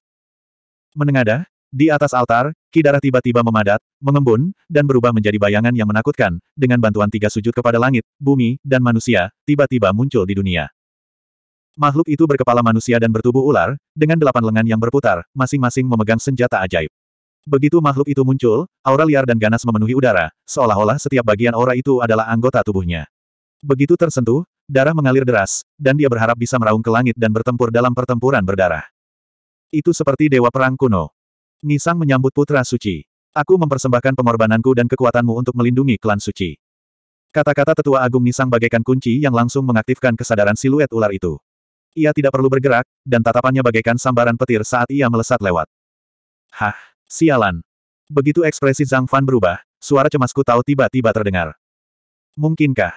Ketika dia melihat bayangan itu, dia sudah bisa menebaknya. Sekarang setelah dia mendengar nada bicaraku tahu, dia bahkan lebih terkejut. Tanpa berpikir, dia melambaikan tangannya, dan sarang burung gagak menutupi area itu, mengisolasi bagian dalam dari bagian luar. Bahkan di bawah isolasi sarang burung gagak, yang tidak pernah mengecewakannya, Zhang Fan sama sekali tidak merasa santai. Sebaliknya, dia menjadi lebih serius. Dia menyipitkan mata ke bayangan di langit, seolah-olah dia khawatir bayangan itu akan merasakan cahaya ilahi di matanya. Bahkan saat menghadapi seorang penggarap jiwa baru lahir, dia tidak pernah begitu berhati-hati. Setelah beberapa saat, mata bayangan berlengan delapan itu menyapu dan berhenti di tempat terpencil di sarang burung gagak. Ia tampak bingung, tetapi tidak tampak ingin tahu lebih banyak. Tak lama kemudian, ia menatap tubuh perempuan yang tinggi di atas altar. Baru pada saat itulah Zhang Fan menghela napas lega. Ku Taois, apakah aku melihatnya dengan benar? Ini benar-benar putra suci. Sebelum Zhang Fan bisa menyelesaikannya, Ku Tao menyela dan memberikan jawabannya. Jadi ini yang dimaksud dengan klan suci. Tidak heran. Perkataan Ku Tao tidak masuk akal, tetapi tidak menghentikan Zhang Fan untuk mengerti. Sebelumnya, dia pernah mendengar istilah klan suci dari Nihan. Awalnya, dia mengira itu hanya cara untuk berpura-pura, seperti bagaimana kultus jahat suka menyebut diri mereka kultus suci. Sekarang, tampaknya itu tidak benar. Apa yang disebut ras suci kemungkinan besar merujuk pada keturunan kaisar suci kuno. Dengan cara ini, dapat dijelaskan mengapa bahasa mereka memiliki jejak-jejak era primordial. Alasan mengapa mereka dikatakan sebagai keturunan kaisar suci adalah karena saat ini mereka sedang menikmati makanan dari proyeksi dewa iblis yang berlengan delapan, berkepala manusia, dan bertubuh ular yang sedang memandang dunia dari atas. Menurut legenda, di era primordial, guru besar pertama umat manusia memimpin umat manusia untuk melawan guru sejati dunia, binatang iblis. Dia adalah pahlawan tak tertandingi yang berjuang demi tempat tinggal. Dia disebut Kaisar Suci. Meskipun orang-orang yang disebut Kaisar Suci ini berangsur-angsur menghilang dalam sungai sejarah yang panjang karena munculnya manusia-manusia kuat, mereka masih meninggalkan beberapa jejak. Yang disebut orang suci adalah salah seorang di antaranya. Pada saat itu, konsep transendensi berbeda dengan masa kini. Para kaisar suci yang disebut-sebut itu bahkan lebih tidak bermoral dan meninggalkan banyak anak. Pada saat itu, tubuh manusia biasa masih terlalu lemah untuk melahirkan keturunan guru besar seperti kaisar suci. Keturunan kaisar suci yang sebenarnya semuanya lahir dari hubungan seksual dengan binatang iblis yang telah berubah. Oleh karena itu, sebagian besar dari mereka memiliki karakteristik binatang iblis dan manusia. Sama seperti proyeksi maya yang mengambang di udara sekarang, sudah jelas bahwa itu adalah keturunan manusia dan binatang iblis yang telah berubah wujud dari klan ular. Meskipun pertempuran Dewa Iblis Primordial telah menghancurkan seluruh dunia manusia, mereka akhirnya menang. Setidaknya, umat manusia telah terbebas dari kendali Dewa Iblis dan benar-benar memahami takdir mereka sendiri. Sejak saat itu, ada zaman kemasan para guru besar kuno di alam semesta. Keturunan Kaisar Suci ini, yang disebut Putra Suci dan yang disebut Dewa Iblis, juga menghilang tanpa jejak selama periode ini. Tidak seorang pun tahu persis ke mana mereka pergi. Dari sini, dapat dilihat bahwa para penyintas ini benar-benar keturunan Kaisar Suci atau orang suci. Mungkin mereka juga telah bermigrasi ke bawah tanah selama bencana terakhir di era primordial. Kalau tidak, tidak ada cara untuk menjelaskan mengapa Dewa Iblis Purba ini akan menanggapi sihir dan pengorbanan tetua Agung Nisang lalu turun. Untungnya, untungnya. Sekarang yang dipanggil hanyalah klon jiwa yang lemah. Klon itu tidak kuat. Kalau tidak, nak, kau pasti sudah mati hari ini. Mendengar perkataan Kutao, Zhang Fan mengangguk dengan rasa takut yang masih ada. Dia tidak perlu tubuhnya turun. Selama klon jiwa sedikit lebih kuat, dia akan mampu melihat melalui isolasi ruang sarang burung gagak. Pada saat itu, dia tidak hanya tidak akan bisa memancing di perairan yang bermasalah, tetapi dia juga harus menghadapi pengejaran seorang ahli dari alam atas yang telah selamat dari era primordial. Dalam hal itu, itu akan sangat mengerikan. Untungnya, klon jiwa ini, bagaimanapun juga, hanyalah seorang wanita manusia biasa yang dipanggil sebagai korban. Kekuatannya tidak besar, dan perhatiannya jelas tertuju pada korban, sehingga Zhang Fan lolos dari malapetaka. Kutaois, tidak heran para kultivator bawah tanah begitu enggan membicarakan para penyintas. Mereka pasti sudah tahu tentang ini. Dulu, mereka terlalu kejam, dan tidak baik untuk mendengarnya. Itulah sebabnya mereka menutupnya. Zhang Fan berpikir sejenak dan berkata melalui telepati. Para kultivator yang pernah berhubungan dengannya di dunia kultivasi bawah tanah tidaklah terlalu tinggi.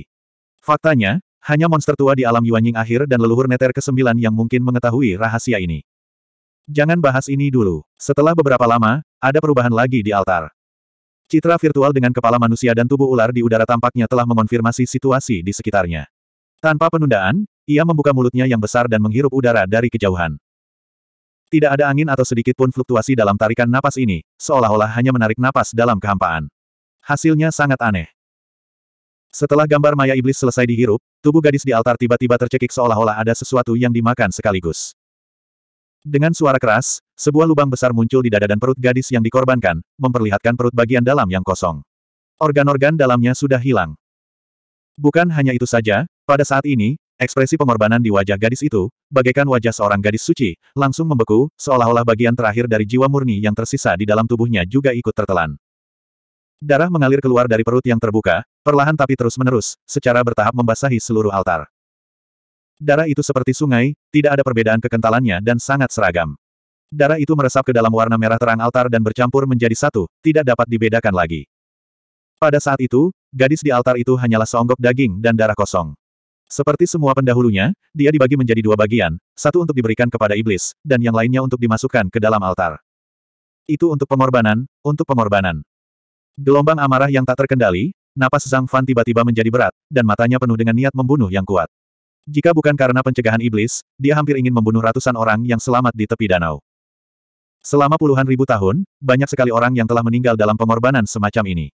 Tidak heran altar tersebut memiliki sedikit benda suci. Benda itu dipadatkan oleh esensi, ki, roh, dan daging serta darah manusia yang tak terhitung jumlahnya, yang tidak biasa. Hidup dan mati itu penting, jika seseorang ingin melampaui dirinya sendiri, terkadang tidak ada cara lain. Namun, menggunakan manusia sebagai makanan untuk memberi makan iblis, hal ini tidak dapat diterima oleh Zhang Fan. Para penyintas ini, Meskipun mereka adalah keturunan kaisar suci kuno, apa yang mereka lakukan adalah menginjak-injak usaha leluhur mereka seumur hidup, menginjak-injak martabat manusia. Bagaimana mungkin dia tidak marah? Wah, tenanglah. Cermin matahari besar muncul, seperti matahari yang tergantung di belakang Zhang Fan. Suaraku tahu terdengar pada saat yang tepat, dengan paksa menekan niat membunuh di hati Zhang Fan. Fiuh. Menghela napas panjang, Zhang Fan mengangguk dalam diam, tahu bahwa sekarang bukan saatnya. Bagaimanapun, dalam waktu dekat, akan tiba saatnya baginya, para penyintas ini, untuk memberi mereka pelajaran yang tak terlupakan. Setelah menikmati daging dan darahnya, iblis berlengan delapan tampak cukup puas. Nisang membungkuk dari jauh, dan di bawah bimbingan jarinya yang kurus, matanya berbalik dan terfokus pada raungan mengguncang surga yang menolak air yang masih menimbulkan masalah di udara. Kecuali Nisang, hampir semua ahli di klan itu menggunakan aura hijau tua untuk menjerat raungan mengguncang surga yang menolak air, tetapi sekarang, mereka perlahan-lahan kehilangan kekuatan. Au! Suara yang terdengar seperti auman sapi dan auman naga seketika menggema di seluruh danau yang luas itu. Dalam suara yang mengerikan ini, semua orang yang hadir, jiwa mereka bergetar, seolah-olah mereka dapat terbang keluar dari tubuh mereka kapan saja. Hampir pada saat yang sama, kaki mereka bergetar, seolah-olah ada gempa bumi, dan mereka tidak dapat berdiri dengan mantap. Tidak ada gerakan di tanah, tetapi jiwa mereka terguncang, dan mereka tidak dapat mengendalikan tubuh mereka dengan sempurna. Mereka bukan satu-satunya yang terpengaruh. Bagaimana mungkin kekuatan sihir terkuat dari raungan pengusir air Heaven Saking Roar bisa diremehkan? Di udara, hantu agung iblis berlengan delapan itu tiba-tiba bergetar dan berputar, seolah-olah ada kekuatan yang tak terhitung jumlahnya menarik ke berbagai arah, dan sosok besar itu pun berubah bentuk. Raungan yang mengerikan dari raungan mengguncang surga yang menolak air itu jelas jauh lebih merusak bagi avatar iblis yang tidak memiliki tubuh fisik. Seolah terhina, Iblis berkepala manusia berbadan ular itu meraung, mengayunkan kedelapan lengannya dengan liar, dan mengeluarkan kekuatan dahsyat yang dibalut dengan kekuatan spiritual tak terbatas, bagaikan ombak raksasa sungguhan, seketika menenggelamkan raungan pengguncang surga penolak air. Setelah melakukan hal itu, hantu iblis tampak mulai tenang, mengangguk kepada para penyintas di bawah, lalu perlahan-lahan kabur, dan berangsur-angsur menghilang. Tubuh hantu iblis dipadatkan oleh kekuatan kehendak langit, bumi, manusia, hantu, dan dewa. Ketika runtuh, ia meledak dengan kekuatan tak terbatas, dan sejumlah besar kekuatan spiritual yang kacau, seperti badai, tiba-tiba bubar. Di bawah kekuatan yang besar ini, permukaan danau tiba-tiba bergelora, dan ombaknya sangat dahsyat, serta aura hijau tua yang membuat raungan gemetar surga penolak air begitu ketakutan pun sirna. Pada saat yang sama, raungan pengusir air yang mengguncang langit, yang telah dihantam oleh hantu iblis, juga memperlihatkan sosoknya dari kekuatan spiritual yang ganas. Ia sangat menyedihkan, dan terengah-engah, dan darah memercik ke seluruh langit, memperlihatkan kelemahan dan keadaannya yang sekarat. Sekarang saatnya. Zhang Fan tiba-tiba berdiri, menatap raungan mengguncang surga yang menolak air yang tragis di udara, dan matanya berbinar-binar, seolah-olah itu nyata.